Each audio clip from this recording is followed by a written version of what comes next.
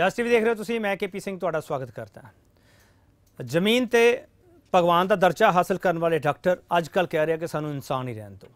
ਤੇ ਇਨਸਾਨੀਅਤ ਦੇ ਕਿੰਨੇ ਨੇੜੇ ਹੈਗੇ ਡਾਕਟਰ? ਇਹ ਸਵਾਲ ਬੜਾ ਮਹੱਤਵਪੂਰਨ ਹੈਗਾ। ਤੇ ਜਦੋਂ ਇਹ ਸਵਾਲ ਮਹੱਤਵਪੂਰਨ ਹੁੰਦਾ ਤੇ ਮਰੀਜ਼ ਤੇ ਡਾਕਟਰ ਦੇ ਵਿਚਾਲੇ ਰਿਸ਼ਤਾ ਹੈ ਜਿਹੜਾ, ਉਸ ਵਿੱਚ ਭਰੋਸੇਯੋਗਤਾ ਤੇ ਸਵਾਲ ਕਿਉਂ ਉੱਠਦੇ ਪਏ ਆ?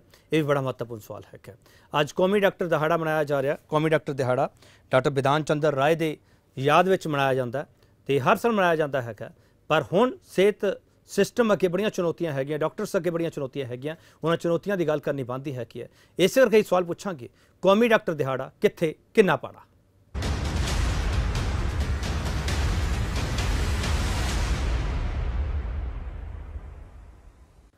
ਇਸ ਚਰਚਾ ਦੇ ਵਿੱਚ ਵੱਡਾ ਸਵਾਲ ਇੱਕੋ ਪੁੱਛਿਆ ਜਾਏਗਾ, ਵੱਡਾ ਸਵਾਲ ਇਹ ਪੁੱਛਿਆ ਜਾਵੇਗਾ, ਕੌਮੀ ਡਾਕਟਰ ਦਿਹਾੜੇ ਮੌਕੇ ਦੇਸ਼ ਦੇ ਸਿਹਤ ਢਾਂਚੇ ਅੱਗੇ ਵੱਡੀ ਚੁਣੌਤੀ ਕੀ ਹੈ? ਇਸੇ ਸਵਾਲ ਤੇ ਚਰਚਾ ਕਰਾਂਗੇ। ਪੈਨਲ ਸਾਡਾ ਮੌਜੂਦ ਹੈਗਾ, ਉਹਨਾਂ ਤੁਹਾਡਾ ਤਾਰਫ ਕਰਾ ਰਹੇ ਹਾਂ। ਸੁਖਬੀਰ ਬਾਜਵਾ, ਸੀਨੀਅਰ ਪੱਤਰਕਾਰ ਨੇ। ਭਾਈ ਸਾਹਿਬ, ਤੁਹਾਡਾ ਬਹੁਤ ਸਵਾਗਤ ਹੈ। ਲੰਬਾ ਤਜਰਬਾ ਇਹਨਾਂ ਦਾ।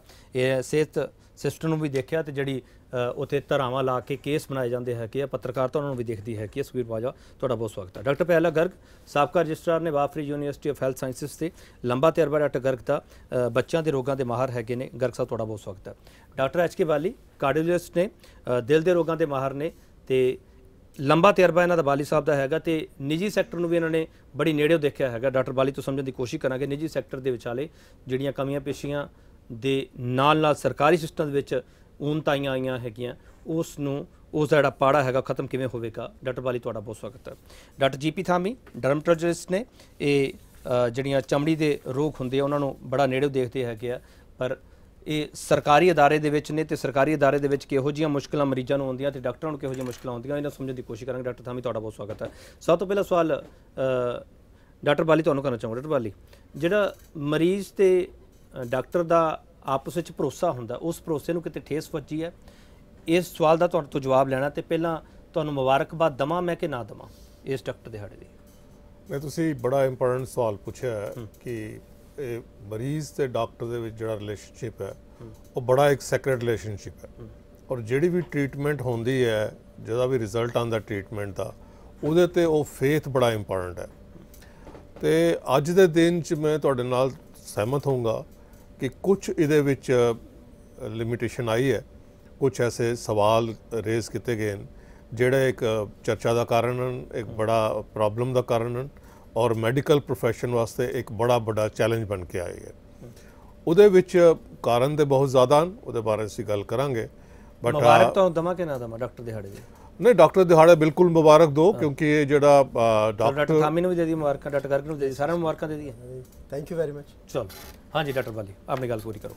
ਇਹ ਜਿਹੜਾ ਕਿਉਂ ਇਹ ਬਣ ਕੇ ਆਇਆ ਕਿ ਬੇਸਿਕਲੀ ਸਾਨੂੰ ਇਹ ਸਮਝਣ ਦੀ ਜ਼ਰੂਰਤ ਹੈ ਕਿ ਮੈਡੀਕਲ profession ਜਿਹੜਾ ਹੈ, ਉਹ ਇੱਕ ਪਰਫੈਕਟ ਸਾਇੰਸ ਨਹੀਂ ਹੈ।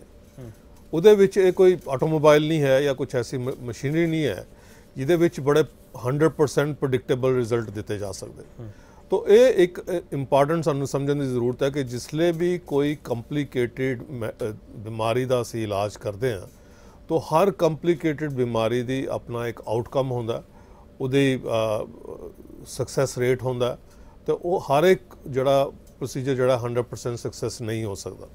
ਤਾਂ ਇੱਕ ਤੇ ਇਹ ਲਿਮਿਟੇਸ਼ਨ ਜਿਹੜੀ ਹੈ ਮੈਡੀਕਲ profession ਦੀ ਜਾਂ ਸਾਇੰਸ ਦੀ ਸਾਨੂੰ ਮੈਡੀਕਲ ਸਾਇੰਸ ਦੀ ਸਮਝਣ ਦੀ ਜ਼ਰੂਰਤ ਹੈ। ਦੂਸਰਾ ਜਿਹੜਾ ਇਹ ਹੈ ਕਿ ਮੈਡੀਕਲ ਫੀਲਡ ਵਿੱਚ ਬੜੀ ਜ਼ਿਆਦਾ ਪ੍ਰੋਗਰੈਸ ਹੋ ਚੁੱਕੀ ਹੈ। ਔਰ ਹਰ ਇੱਕ ਚੀਜ਼ ਜਿਹੜੀ ਅਸੀਂ ਪ੍ਰੈਕਟਿਸ ਕਰਦੇ ਹਾਂ ਉਹ ਹਰ ਇੱਕ ਇਨਸਾਨ ਨੂੰ ਹਰ ਇੱਕ ਹਸਪੀਟਲ 'ਚ ਉਹ ਉਨੀ ਐਡਵਾਂਸ ਤਰੀਕੇ 'ਚ ਟੈਕਨੀਕਲ ਰੀਜ਼ਨ 'ਚ ਕਿਸੇ ਹੋਰ ਰੀਜ਼ਨ ਕੇ ਕਾਰਨ ਲੌਜਿਸਟਿਕ ਰੀਜ਼ਨ ਦੇ ਕਾਰਨ ਨਹੀਂ ਪ੍ਰੋਵਾਈਡ ਕੀਤੀ ਜਾ ਸਕਦੀ। ਤਾਂ ਉਸ ਕਰਕੇ ਲੋਕਾਂ ਦੀ ਐਕਸਪੈਕਟੇਸ਼ਨ ਵੀ ਜ਼ਿਆਦਾ ਬਣ ਗਈ ਹੈ। ਤੀਜਾ ਇਹ ਹੈ ਕਿ ਸਾਨੂੰ ਕਮਿਊਨੀਕੇਟ ਕਰਨ ਦੀ ਬੜੀ ਜ਼ਰੂਰਤ ਹੈ। ਕਮਿਊਨੀਕੇਟ ਦਾ ਮੇਰਾ ਮਤਲਬ ਹੈ ਕਿ ਹਰ ਵੇਲੇ ਜਿਸਲੇ ਅਸੀਂ ਪੇਸ਼ੈਂਟ ਦੇ ਨਾਲ ਇੰਟਰੈਕਟ ਕਰਦੇ ਹਾਂ ਜਾਂ ਪੇਸ਼ੈਂਟ ਦੇ ਰਿਲੇਟਿਵਸ ਨਾਲ ਇੰਟਰੈਕਟ ਕਰਦੇ ਹਾਂ, ਤੇ ਹਰ ਸਟੇਜ ਤੇ ਇਹ ਐਕਸਪਲੇਨ ਕਰਨ ਦੀ ਜ਼ਰੂਰਤ ਹੈ ਕਿ ਅਸੀਂ ਬਿਮਾਰੀ ਕੀ ਹੈ, ਉਹਦਾ ਕੀ ਰਿਜ਼ਲਟ ਐਕਸਪੈਕਟ ਕਰਦੇ ਹਾਂ ਟ੍ਰੀਟਮੈਂਟ ਦਾ ਔਰ ਹਰ ਸਟੈਪ ਤੇ ਸਾਨੂੰ ਦੱਸਣਾ ਚਾਹੀਦਾ ਬਹੁਤ ਇੰਪੋਰਟੈਂਟ ਪੁਆਇੰਟ ਹੈ ਡਾਕਟਰ ਵਾਲੀ ਬਹੁਤ ਇੰਪੋਰਟੈਂਟ ਪੁਆਇੰਟ ਹੈ ਅੱਜ ਕੱਲ ਡਾਕਟਰ ਨਾਲ ਗੱਲ ਕਰਨ ਲੱਗਿਆ ਮਰੀਜ਼ ਜਾਂ ਮਰੀਜ਼ ਦਾ ਪਰਿਵਾਰ ਹੈ ਜਿਹੜਾ ਡਰਨ ਲੱਗ ਪਿਆ। ਉਹ ਜਿਵੇਂ ਪੁਲਿਸ ਵਾਲਿਆਂ ਤੋਂ ਪਹਿਲਾਂ ਡਰਦੇ ਸੀ ਨਾ ਹੁਣ ਡਾਕਟਰਾਂ ਤੋਂ ਡਰਨ ਲੱਗ ਪਏ ਡਾਕਟਰ ਥਾਮੀ ਮਰੀਜ਼ ਡਰਦਾ ਕਿਉਂ ਪਿਆ ਡਾਕਟਰਾਂ ਨਾਲ ਗੱਲ ਕਰਨ ਤੇ? ਦੇਖੋ ਡਰਦਾ ਤਾਂ ਐਗਜ਼ੈਕਟਲੀ ਨਹੀਂ ਕਹਿ ਸਕਦੇ ਤੁਸੀਂ ਆਈ ਕਿਉਂਕਿ ਡਰਦਾ ਇਸ ਕਰਕੇ ਜਦੋਂ ਕਹਿੰਦਾ ਕਿ ਪੈਕੇਜ ਦੱਸ ਦੇਣਗੇ ਵੀ ਇੰਨੇ ਦਾ ਪੈਕੇਜ ਪੈਣਾ ਹੈਗਾ। ਫਿਰ ਬੇਮਤਲਬ ਦੇ ਟੈਸਟ ਹੈ ਜਿਹੜੇ, ਉਸ ਵਿੱਚ ਕਮਿਸ਼ਨ ਦਾ ਵੀ ਚੱਕਰ ਆਉਂਦਾ ਹੈਗਾ, ਇਸ ਕਰਕੇ ਡਰਦਾ ਪਿਆ। ਦੇਖੋ, ਇਸ ਤਰ੍ਹਾਂ ਹੋਇਆ ਹੈ ਕਿ ਜਿੱਦਾਂ ਸਾਰੇ ਪ੍ਰੋਫੈਸ਼ਨ ਹੈ ਨਾ ਵਿਦ ਟਾਈਮ ਚੇਂਜ ਹੋਏ ਹੈ। Our profession has also changed ਬਹੁਤ ਸਾਰੀਆਂ ਮਾਡਰਨ ਚੀਜ਼ਾਂ ਵੀ ਆ ਗਈਆਂ ਹੈ। ਐਕਚੁਅਲੀ ਅਗਰ ਤੁਸੀਂ ਦੇਖੋ ਨਾ ਤੇ ਅੱਜ ਦੀ ਡੇਟ 'ਚ ਜਿਹੜੀ ਮਾਡਰਨ ਮੈਡੀਸਿਨ ਹੈ ਉਹ ਸੱਚਮੁੱਚ ਹੀ ਮਹਿੰਗੀ ਹੋ ਗਈ ਹੈ। ਬਿਕੋਜ਼ ਪਹਿਲਾਂ ਦੇਖੋ ਬਹੁਤ ਜ਼ਿਆਦਾ ਸਾਰੇ ਲੋਕ ਡੈਥ ਰੇਟ ਬਹੁਤ ਜ਼ਿਆਦਾ ਸੀਗਾ ਬੱਚਿਆਂ ਦਾ ਡੈਥ ਰੇਟ ਬਹੁਤ ਜ਼ਿਆਦਾ ਸੀਗਾ ਤੇ ਮੈਡੀਸਿਨ ਬਹੁਤ ਐਡਵਾਂਸ ਹੋਈ ਹੈ। ਪਹਿਲਾਂ ਜਿੱਦਾਂ ਐਮ ਆਰ ਆਈ ਨਹੀਂ ਹੁੰਦਾ ਸੀ ਸੀਟੀ ਸਕੈਨ ਨਹੀਂ ਹੁੰਦਾ ਸੀ ਤੇ ਸਸਤੀ ਸੀਗੀ ਮੈਡੀਸਿਨ ਤੇ ਹੁਣ ਮੈਡੀਸਿਨ ਜਦ ਮਾਡਰਨ ਹੋ ਗਈ ਹੈ ਤਾਂ ਉਹਦੇ ਮਹਿੰਗੀ ਹੋਣ ਦਾ ਵੀ ਸਕੋਪ ਆਇਆ ਹੈ। ਇਹ ਲੋਕਾਂ ਨੂੰ ਸਮਝਣਾ ਚਾਹੀਦਾ। ਠੀਕ ਠੀਕ। ਸੁਖਬੀਰ ਬਾਜਵਾ। ਤੁਸੀਂ ਇਸ ਸਿਹਤ ਸਿਸਟਮ ਨੂੰ ਬੜਾ ਕਵਰ ਕੀਤਾ ਹੈਗਾ ਸੁਖਬੀਰ ਬਾਜਵਾ। ਡਾਕਟਰਸ ਆ ਜਿਹੜੇ ਉਹ ਆਪਣੀ ਜ਼ਿੰਮੇਵਾਰੀ ਉਸ ਤਨਦੇਹੀ ਨਾਲ ਅੱਜ ਨਿਭਾ ਪਾ ਰਿਹਾ ਜਿਹੜੀ ਅੱਜ ਤੋਂ ਦਹਾਕੇ ਪਹਿਲਾਂ ਨਿਭਾਈ ਜਾ ਰਹੀ ਸੀ। ਜਿਹੜੇ ਡਾਕਟਰ ਨੂੰ ਭਗਵਾਨ ਦਾ ਦਰਜਾ ਦਿੱਤਾ ਜਾਂਦਾ ਸੀ ਅੱਜ ਡਾਕਟਰ ਖੁਦ ਕਹਿ ਰਿਹਾ ਸਾਨੂੰ ਇਨਸਾਨ ਰਹਿਣ ਦਿਓ। ਸੁਖਬੀਰ ਬਾਜਵਾ। ਦੇਖੋ ਗੱਲ ਕੀ ਹੈ ਪ੍ਰੋਫੈਸ਼ਨ 20 ਸਾਲ 30 ਸਾਲ ਪਹਿਲਾਂ ਵੀ ਬੜਾ ਸਤਿਕਾਰਯੋਗ ਸੀ ਅੱਜ ਵੀ ਤੇ ਅੱਗੇ ਵੀ ਰਹੇਗਾ ਅੱਗੇ ਫ਼ਰਕ ਇੰਨਾ ਆ ਗਿਆ ਕਿ ਜਿਹੜੀ ਪ੍ਰਾਈਵੇਟਾਈਜੇਸ਼ਨ ਸਿਸਟਮ ਹੈ, ਦੁਕਾਨਦਾਰੀ ਸਿਸਟਮ ਹੈ ਜਾਂ ਕੁਝ ਹੈਗਾ ਅੱਜ ਵੀ ਲੋਕ ਜਿਹੜੀ ਹੈ ਸਰਕਾਰੀ ਹਸਪੀਟਲਾਂ ਡਾਕਟਰਾਂ ਦੇ ਉੱਪਰ ਉਮੀਦ ਰੱਖਦੇ ਨੇ ਕਿ ਸਾਨੂੰ ਉੱਥੇ ਲਾਸ਼ ਸਹੀ ਮਿਲ ਜੇ ਆ ਕੇ। ਅੱਜ ਮੈਂ ਇਦਾਂ ਦੇ ਕੇਸਿਸ ਵੇਖੇ ਨੇ ਜਿਹੜੇ ਆ ਕੇ ਲੋਕੀ ਪ੍ਰਾਈਵੇਟ ਡਿਲੀਵਰੀ ਕਰਾਉਣ ਦੀ ਬਜਾਏ ਅੱਛੇ ਕਰਨ ਦਾ ਬੰਦੇ ਉਹ ਸਰਕਾਰੀ ਡਿਲੀਵਰੀ ਕਰਾਉਂਦੇ ਨੇ। ਕਾਰਨ ਇਹ ਹੈ ਕਿ ਨਾਰਮਲ ਹੋਏਗੀ, ਉਹ ਪੈਸੇ ਨਹੀਂ ਬਣਾਉਣਗੇ ਆ ਕੇ। ਲੇਕਿਨ ਜਿਹੜੀ ਇਹਦੇ ਚ ਦਿੱਕਤ ਆ ਰਹੀ ਹੈ, ਜਿਹੜੀ ਤੁਸੀਂ ਪਹਿਲਾਂ ਵੀ ਗੱਲ ਕੀਤੀ ਹੈ, ਮੈਂ ਤੁਹਾਨੂੰ ਐਗਜ਼ਾਮਪਲ ਵੀ ਦੇ ਸਕਦਾ ਕਿ ਜਿਹੜਾ ਪੈਕੇਜ ਸਿਸਟਮ ਚੱਲਿਆ ਹੈ ਵੀ ਹਰ ਡਾਕਟਰ ਦਾ ਵੀ ਆਪਣੀ ਜਿਹੜੀਆਂ ਨੇ ਸਿਸਟਮ ਕੋਲੋਂ ਪਤਾ ਨਹੀਂ ਨਾ ਕੀ ਹੈ ਵੀ ਖਰਚੇ ਜ਼ਿਆਦਾ ਨਹੀਂ ਕੀ ਹੈ। ਲੇਕਿਨ ਇਹ ਡਾਕਟਰ ਆਪਣੀ ਬੋਲੀ ਆਪ ਲਗਾਉਣ ਲੱਗ ਗਏ। ਜਿਹੜੀ ਕਿਸੇ ਭਗਵਾਨ ਦਰਜਾ ਗੱਲ ਕਹਿੰਦੇ ਆ ਹੁਣ ਜਿਹੜੇ ਹਸਪੀਟਲ ਇਦਾਂ ਦੇ ਵੀ ਨੇ ਹੁਣ ਨਾਮ ਕੀ ਲਈ ਆ ਕੇ ਇੱਥੇ ਲੇਕਿਨ ਉਹ ਇਸ ਤਰ੍ਹਾਂ ਦੇ ਤੁਸੀਂ ਪੈਸੇ ਜਮ੍ਹਾਂ ਕਰਾਓਗੇ ਟ੍ਰੀਟਮੈਂਟ ਸ਼ੁਰੂ ਹੋਏਗਾ। ਜਦ ਕਿ ਇਹ ਹੁੰਦਾ ਕਿ ਵੀ ਜਦੋਂ ਤੁਸੀਂ ਟ੍ਰੀਟਮੈਂਟ ਸ਼ੁਰੂ ਕਰੋ ਡਾਕਟਰ ਸਾਹਿਬ ਇੱਕ ਵਾਰੀ ਅਸੀਂ ਕਰਦੇ ਆ ਕੇ। ਹੁਣ ਪਹਿਲਾਂ ਪੈਸੇ ਜਮ੍ਹਾਂ ਕਰਾਓ ਫਿਰ ਟ੍ਰੀਟਮੈਂਟ ਸ਼ੁਰੂ ਹੁੰਦਾ ਫਿਰ ਦੂਜਾ ਆ ਕੇ। ਦੂਜੇ ਇਸ ਕੰਪਨੀ ਤੁਸੀਂ ਅੱਗੇ ਦੇਖੋਗੇ ਆ ਕੇ, ਆਉਣ ਵਾਲੇ ਦਿਨਾਂ 'ਚ ਇੰਸ਼ੋਰੈਂਸ ਕੰਪਨੀਆਂ ਨੇ ਹੈਲਥ ਸਿਸਟਮ ਦਾ ਬੇੜਾ ਗਰ ਕਰਤਾ ਜੀ ਆ ਕੇ। ਜਿਹੜੇ ਪੈਕੇਜ ਸਿਸਟਮ ਲੈਂਦੇ ਆ ਕੇ ਵੀ ਸਾਡਾ 10 ਲੱਖ ਦੀ ਇੰਸ਼ੋਰੈਂਸ 20 ਲੱਖ ਦੀ, ਕਰੋ ਇਲਾਜ ਹੀ ਸਾਡਾ, ਕੋਈ ਚੱਕਰ ਨਹੀਂ ਆ ਜੀ, ਪਾਓ ਸਟੰਟ ਜੀ, ਦੇਖੋ ਆ ਕੇ। ਹੁਣ ਤੇ ਮੁੱਲ ਰਹਿ ਹੀ ਨਹੀਂ ਗਿਆ ਆ ਕੇ। ਹੁਣ ਡਾਕਟਰ ਵੀ ਉੱਥੇ ਕੀ ਕਰਨਾ ਕੇ? ਜਿਹੜੇ ਤਾਂ ਮੈਨੂੰ ਲੱਗਦਾ ਕਿ ਜਿਹੜੇ ਪ੍ਰਾਈਵੇਟ ਡਾਕਟਰ ਹੈਗੇ, ਸਰਕਾਰੀ ਡਾਕਟਰ ਹੈਗੇ, ਉਹਨਾਂ 'ਚ ਤਾਂ ਕਿਤੇ ਨਾ ਕਿਤੇ ਇਨਸਾਨੀਅਤ ਬਚੀ ਹੈ। ਪ੍ਰਾਈਵੇਟ ਜਿਹੜੇ ਉਹ ਆਪਣੀ ਇਹਦੀ ਜਿਹੜੀ ਅੰਦਰ ਦੀ ਜਿਹੜੀ ਮਤਲਬ ਕਹਿੰਦੇ ਆਤਮਾ, ਉਹਨੂੰ ਵੇਚੀ ਜਾ ਰਹੇ ਨੇ ਆ ਕੇ। ਮੇਰੇ ਖਿਆਲ ਸਾਰੇ ਡਾਕਟਰ ਕਿਉਂਕਿ ਸਾਡੇ ਵੀ ਪਰਿਵਾਰ ਦੇ ਡਾਕਟਰ ਨੇ ਸਾਰੇ ਕੁਝ ਕਿ ਨਹੀਂ ਹੈ। ਲੇਕਿਨ ਜ਼ਿਆਦਾਤਰ ਡਾਕਟਰ profession ਜਿੱਦਾਂ ਉਹ ਬਦਨਾਮ ਹੋ ਰਿਹਾ ਸਿਰਫ ਕੁਝ ਚੰਦ ਲੋਕ ਨੇ ਜਿਹੜੀਆਂ ਉਹ ਸਮਾਜ 'ਚ ਉਦਾਹਰਨ ਬਣ ਜਾਂਦੇ ਆ ਔਰ ਬਾਕੀ ਡਾਕਟਰਾਂ ਨੂੰ ਜਿਹੜਾ ਉਹਦਾ ਉਹਦੀ ਛਵੀ ਖਰਾਬ ਹੋ- ਕਰਦੇ ਆ ਜਦ ਕਿ ਇਸ ਤਰ੍ਹਾਂ ਦੀ ਅਸਲ 'ਚ ਮੇਰੇ ਖਿਆਲ ਦੇ ਵਿੱਚ ਤੇ ਪ੍ਰਾਈਵੇਟ ਤੇ ਸਰਕਾਰੀ ਡਾਕਟਰਾਂ ਦਾ ਵੀ ਸਰਵੇ ਹੋਣਾ ਚਾਹੀਦਾ ਹੈ ਕਿ ਸਰਕਾਰੀ ਦੇ ਚ ਘੱਟੋ ਘੱਟ ਜ਼ਮੀਰ ਤਾਂ ਹੈ ਜਿੰਨੀ ਹੈ ਅਗਲਾ ਸ਼ਰਮੋ ਸ਼ਰਮੀ ਕਰਦਾ ਕੁਝ ਕਰਦਾ ਕਿ ਕਿਉਂ ਤਾਂ ਸਰਕਾਰੀ। ਡਾਕਟਰਾਂ ਦੇ ਇਲਜ਼ਾਮ ਲੱਗਦੇ ਪਏ ਕਿ ਪ੍ਰਾਈਵੇਟ ਪ੍ਰੈਕਟਿਸ ਕਰਦੇ ਆ। ਦੇਖੋ ਜੀ ਪ੍ਰੈਕਟਿਸ ਦੇਖੋ ਗੱਲ ਕੀ ਜੀ। ਹੁਣ ਤਾਂ ਇਸ ਗੱਲ ਦਾ ਪੋਸਟਮਾਰਟਮ ਇਸ ਗੱਲ ਦਾ ਤਾਂ ਡਾਕਟਰ ਪੀਐਲ ਗੱਲ ਕਰੂੰਗੀ ਚੰਗੀ ਤਰ੍ਹਾਂ ਅੱਗੇ ਲੇਕਿਨ ਮੈਨੂੰ ਇੰਨਾ ਪਤਾ ਹੈ ਕਿ ਵੀ ਉਹਦੇ ਵਿੱਚ ਤੁਸੀਂ ਅਗਰ ਪ੍ਰਾਈਵੇਟ ਅਲਾਉਂਸ ਦਿੰਦੇ ਹੋ ਤਨਖਾਹ ਅਗਰ ਦੱਸੋ ਆ ਕੇ ਜੇ ਚੰਗਾ ਕੋਈ ਵਧੀਆ ਕੋਈ ਮੁਲਾਜ਼ਮ ਨੂੰ ਚੰਗੀ ਤਨਖਾਹ ਮਿਲੇਗੀ ਉਹ ਬਾਹਰ ਕਿਉਂ ਮੂੰਹ ਮਾਰੇਗਾ ਜੇ ਬਾਹਰ ਪ੍ਰਾਈਵੇਟ ਕਿਉਂ ਕਰੇ ਆ ਕੇ? ਉਹਨੂੰ ਪਾਰਟ ਟਾਈਮ ਕਰਨ ਦੀ ਕਿਉਂ ਲੋੜ ਪਈ ਆ ਕੇ? ਐਸੇ ਤੁਸੀਂ ਉਹਨੂੰ ਪਹਿਲਾਂ ਹੀ ਆ ਕੇ ਹੁਣ ਉਹੀ ਤਾਂ ਹਾਲ ਹੈ ਬੇਸਿਕ ਤਾਂ 3 ਸਾਲ ਪੰਜਾਬ ਸਰਕਾਰ ਲਾ ਲਓ ਤੁਸੀਂ ਆ ਕੇ ਬੇਸਿਕ ਤੇ ਕੰਮ ਕਰਨਾ ਸਰਵਿਸ ਕਾਊਂਟਰ ਨਹੀਂ ਹੋਣੀ ਤਿੰਨ ਸਾਲ ਕੀ ਕਰੇਗਾ ਕਿ? ਇਦਾਂ ਜਿਹੜੇ ਇਹ profession ਡਾਕਟਰ ਨੇ ਜਿੱਥੇ ਐਮਬੀਬੀਐਸ ਕਰਕੇ ਆਂਦਾ ਮੇਰੇ ਖਿਆਲ ਦੇ ਵਿੱਚ ਉਹਨਾਂ ਥਾਵਾਂ ਤੇ ਆ ਕੇ ਸਰਕਾਰਾਂ ਨੂੰ ਥੋੜਾ ਗੌਰ ਕਰਨਾ ਚਾਹੀਦਾ ਔਰ ਜਿਹੜਾ ਆਪਣੇ ਪ੍ਰਾਈਵੇਟ ਅਦਾਰੇ ਨੇ ਦੂਜੇ ਉਹਨਾਂ ਉੱਪਰ ਨਕੇਲ ਕਸਣੀ ਪਏਗੀ ਨਵਾਂ ਬਿੱਲ ਵੀ ਆ ਰਿਹਾ ਕਸਣੀ ਬਹੁਤ ਜ਼ਰੂਰੀ ਹੈ ਕਿਉਂਕਿ ਜਿਹੜੀ ਮਨਮਰਜ਼ੀਆਂ ਨੇ ਜਿਹੜੀਆਂ ਆ ਕੇ ਜੀ ਉਹ ਬਹੁਤ ਜ਼ਰੂਰੀ ਹੈ। ਜਿਹੜਾ ਬਾਹਰ 500 ਰੁਪਏ ਦੀ ਚੀਜ਼ ਹੈਗੀ ਹੈ ਟੈਸਟ ਮੰਨ ਲਓ ਆ ਕੇ ਜਾਂ ਕੁਛ ਹੈ ਪ੍ਰਾਈਵੇਟ 'ਚ 5000 ਦਾ ਕਿਉਂ ਹੋਏਗਾ ਕਿ? ਇਹ ਬਹੁਤ ਇੱਕ ਸੋਚ ਵਿਚਾਰ ਵਾਲੀ ਗੱਲ, ਬੜੀ ਹਰ ਚਿੰਤਾ ਦਾ ਵਿਸ਼ਾ ਹੈ। ਬਹੁਤ ਇੰਪੋਰਟੈਂਟ ਹੈ। ਇੱਕ ਛੋਟਾ ਜਿਹਾ ਵਕਫਾ ਲਵਾਂਗੇ, ਵਕਫੇ ਤੋਂ ਵਾਪਸ ਆਵਾਂਗੇ। ਕੌਮੀ ਡਾਕਟਰ ਦਿਹਾੜਾ ਮਨਾ ਰਹੇ ਆ ਸਾਰੇ ਸਾਰੇ ਦੇਸ਼ ਦੇ ਵਿੱਚ। ਤੇ ਇਸ ਦਿਹਾੜੇ ਦੇ ਵਿਚਾਲੇ ਸਵਾਲ ਮੈਡੀਕਲ ਐਜੂਕੇਸ਼ਨ ਤੇ ਵੀ ਹੈਗੇ ਮੈਡੀਕਲ ਸਿੱਖਿਆ ਤੇ ਵੀ ਹੈਗੇ ਆ ਮੈਡੀਕਲ ਟੂਰਿਜ਼ਮ ਤੇ ਵੀ ਬੜੇ ਸਵਾਲ ਹੈਗੇ ਆ। ਸਵਾਲ ਇਸ ਕਰਕੇ ਹੈ ਕਿਉਂਕਿ ਮੈਡੀਕਲ ਐਜੂਕੇਸ਼ਨ ਦਿਨੋ ਦਿਨ ਮਹਿੰਗੀ ਹੁੰਦੀ ਜਾ ਰਹੀ ਹੈ ਕੋਟਾ ਸਿਸਟਮ ਤੇ ਉਸ ਕੋਟੇ ਦੇ ਵਿਚਾਲੇ ਡਾਲਰਾਂ ਦੇ ਰੂਪ ਦੇ ਵਿੱਚ ਜਦੋਂ ਪੈਸੇ ਲਏ ਜਾਂਦੇ ਫਿਰ ਡਾਕਟਰ ਅੱਗੇ ਆ ਕੇ ਪੈਸੇ ਕਮਾਉਣਗੇ ਕਿਵੇਂ? ਜਿਨ੍ਹਾਂ ਨੇ ਇੰਨੀਆਂ ਵੱਡੀਆਂ ਵੱਡੀਆਂ ਮੈਨੇਜਮੈਂਟ ਕੋਟੇ ਦੀਆਂ ਫੀਸਾਂ ਭਰੀਆਂ ਹੁੰਦੀਆਂ। ਬਹੁਤ ਸਾਰੇ ਸਵਾਲ ਉਸ ਸਿਸਟਮ ਤੇ ਵੀ ਹੈ ਕਿ ਆ ਇਹ ਸਾਰੇ ਸਿਸਟਮ ਤੇ ਸਵਾਲ ਚੁੱਕਣੇ ਲਾਜ਼ਮੀ ਹੈ ਜੇ ਨਹੀਂ ਚੁੱਕਾਂਗੇ ਸਿਹਤ ਪੱਖੋਂ ਅਸੀਂ ਪਹਿਲਾਂ ਹੀ ਕਮਜ਼ੋਰ ਹੁੰਦੇ ਜਾ ਰਹੇ ਹਾਂ ਤੇ ਜੇ ਆਵਾਜ਼ ਪੱਖੋਂ ਹੀ ਕਮਜ਼ੋਰ ਹੋ ਗਈ ਤੇ ਫਿਰ ਸਵਾਲ ਪੁੱਛਣ ਵਾਲਾ ਬਚੇਗਾ ਕੌਣ? ਮੇਰੇ ਤੋਂ ਵਾਪਸ ਆ ਰਹੇ ਅਸੀਂ ਸਵਾਲ ਇੱਕੋ ਪੁੱਛ ਰਹੇ ਵੱਡਾ ਸਵਾਲ ਅਸੀਂ ਇਹ ਪੁੱਛ ਰਹੇ ਹਾਂ, ਕੌਮੀ ਡਾਕਟਰ ਦਿਹਾੜੇ ਮੌਕੇ ਦੇਸ਼ ਦੇ ਸਿਹਤ ਢਾਂਚੇ ਅੱਗੇ ਵੱਡੀ ਚੁਣੌਤੀ ਕੀ ਹੈ? ਡਾਕਟਰ ਪਿਆਲਾ ਗਰਗ। ਦੇਸ਼ ਦੇ ਸਿਹਤ ਢਾਂਚੇ ਅੱਗੇ ਚੁਣੌਤੀਆਂ ਤਾਂ ਬਹੁਤ ਹੈਗੀਆਂ, ਪਰ ਇਸ ਚੁਣੌਤੀ ਵਿਚਾਲੇ ਮੈਂ ਤੁਹਾਡੇ ਤੋਂ ਬੜਾ ਇੰਪੋਰਟੈਂਟ ਸਵਾਲ ਲੈਣਾ ਚਾਹੁੰਦਾ, ਜਿਹੜਾ ਮੈਡੀਕਲ ਐਜੂਕੇਸ਼ਨ ਦਾ ਇਹ ਸਭ ਕੁਝ ਅਮੀਰਾਂ ਲਈ ਹੋ ਗਿਆ ਹੁਣ। ਮੈਡੀਕਲ ਐਜੂਕੇਸ਼ਨ ਅਮੀਰ ਹੀ ਲੈ ਸਕਦੇ ਆ, ਅਮੀਰ ਹੀ ਫੀਸਾਂ ਭਰ ਸਕਦੇ ਆ, ਉਸ ਤੋਂ ਬਾਅਦ ਅਮੀਰ ਡਾਕਟਰ ਬਣਨਗੇ ਤੇ ਫਿਰ ਅਮੀਰ ਹੀ ਇਲਾਜ ਕਰਾ ਸਕਣਗੇ। ਗਰੀਬ ਦਾ ਕੋਈ ਇਲਾਜ ਨਹੀਂ ਹੋਵੇਗਾ।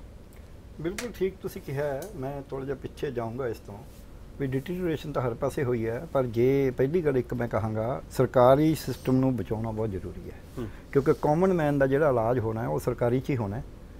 ਉਹਦੇ ਤੇ ਇੰਨਾ ਰਸ਼ ਹੋਣ ਦੇ ਬਾਵਜੂਦ ਲੋਕ ਕੰਮ ਕਰ ਰਹੇ ਨੇ। ਉਹ 'ਚ ਨੁਕਸ ਹੋਣਗੇ 100 ਨੁਕਸ ਹੋਣਗੇ ਉਹਦੇ 'ਚ ਮੈਨੇਜਮੈਂਟ ਦੇ ਨੁਕਸ ਹੋਣਗੇ ਫਾਈਨੈਂਸ ਦੇ ਨੁਕਸ ਹੋਣਗੇ ਹਿਊਮਨ ਬਿਹੇਵੀਅਰ ਦੇ ਨੁਕਸ ਹੋਣਗੇ। ਉਹ ਇੱਕ ਪ੍ਰੋਬਲਮ ਹੈ। ਉਹਦੇ ਵਿੱਚ ਜਿਹੜੀ ਸੁਸਾਇਟੀ ਹੈ ਉਹ ਉਸ ਨੂੰ ਉਸ ਤਰੀਕੇ ਨਾਲ ਨਹੀਂ ਲੈ ਰਹੀ। ਉਹ ਸਮਝੀ ਹੈ ਵੀ ਬਿਜ਼ਨਸਮੈਨ ਹੈ। ਸਰਕਾਰੀ ਹਸਪਤਾਲਾਂ 'ਚ ਵੀ ਮੈਂ ਉਹਦੀਆਂ ਐਗਜ਼ਾਮਪਲਾਂ ਵੀ ਦੇ ਸਕਦਾ ਹਾਂ ਬਟ ਟਾਈਮ ਨਹੀਂ ਹੈਗਾ। ਜਿਹੜਾ ਦੂਜਾ ਪਾਰਟ ਹੈ ਜਦ ਦੇਸ਼ ਆਜ਼ਾਦ ਹੋਇਆ ਸੀ ਉਦੋਂ ਕੀ ਸੀ ਹਾਲਤ ਤੇ ਅੱਜ ਕੀ ਹੈ? ਮੈਂ ਮੈਡੀਕਲ ਕਾਲਜ 'ਚ ਦਾਖਲ ਹੋਇਆ ਜੇ ਮੈਨੂੰ ਫੀਸ ਭਰਨੀ ਪੈਂਦੀ ਤਾਂ 400 ਰੁਪਈਆ ਸੀ ਪਰ ਮੇਰੀ ਸਾਰੀ ਮਾਫ ਸੀ ਤੇ ਮੈਨੂੰ ਕਿਉਂਕਿ ਮੈਂ ਪਹਿਲੇ ਬੱਚਿਆਂ 'ਚ ਸੀ ਤੇ ਮੈਨੂੰ 100 ਰੁਪਇਆ ਮਹੀਨਾ ਉਦੋਂ ਸਕਾਲਰਸ਼ਿਪ ਮਿਲਦਾ ਸੀ। ਇੱਕ ਜੀਵਟੀ ਮਾਸੀ ਤਨਖਾਹ 100 ਰੁਪਇਆ ਹੁੰਦੀ ਸੀ।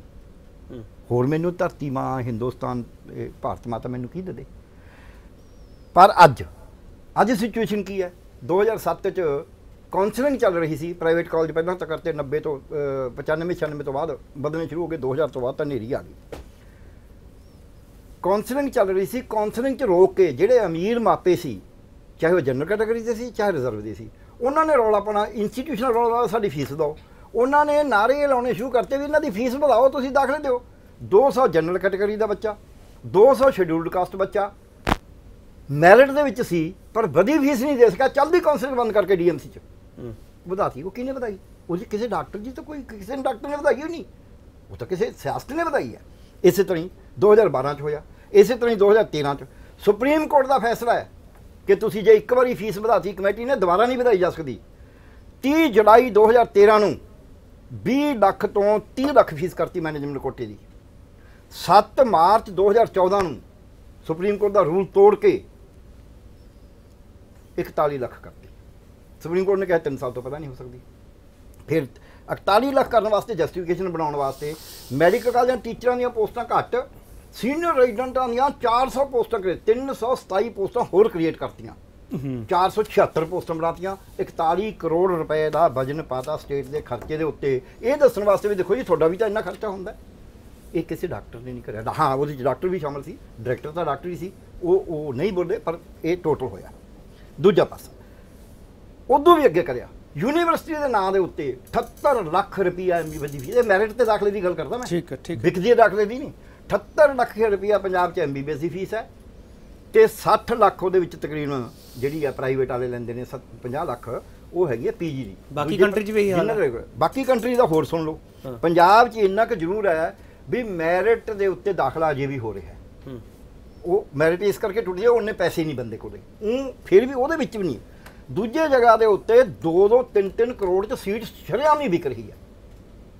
ਆ ਨਾਲ ਦੇ ਸਾਡੇ ਗੁਆਂਢੀ ਸਟੇਟ ਆ ਸਭ ਨੂੰ ਪਤਾ ਵੀ ਉੱਥੇ ਆ ਸੀਟ ਖਰੀਦ ਫਿਰ ਡਾਕਟਰ ਫਿਰ ਤਾਂ ਡਾਕਟਰ ਪੈਕੇਜ ਹੀ ਦੇਣਗੇ ਨਾ। ਮੈਂ ਮੈਂ ਇਸੇ ਗੱਲ ਤੇ ਆ ਰਿਹਾ।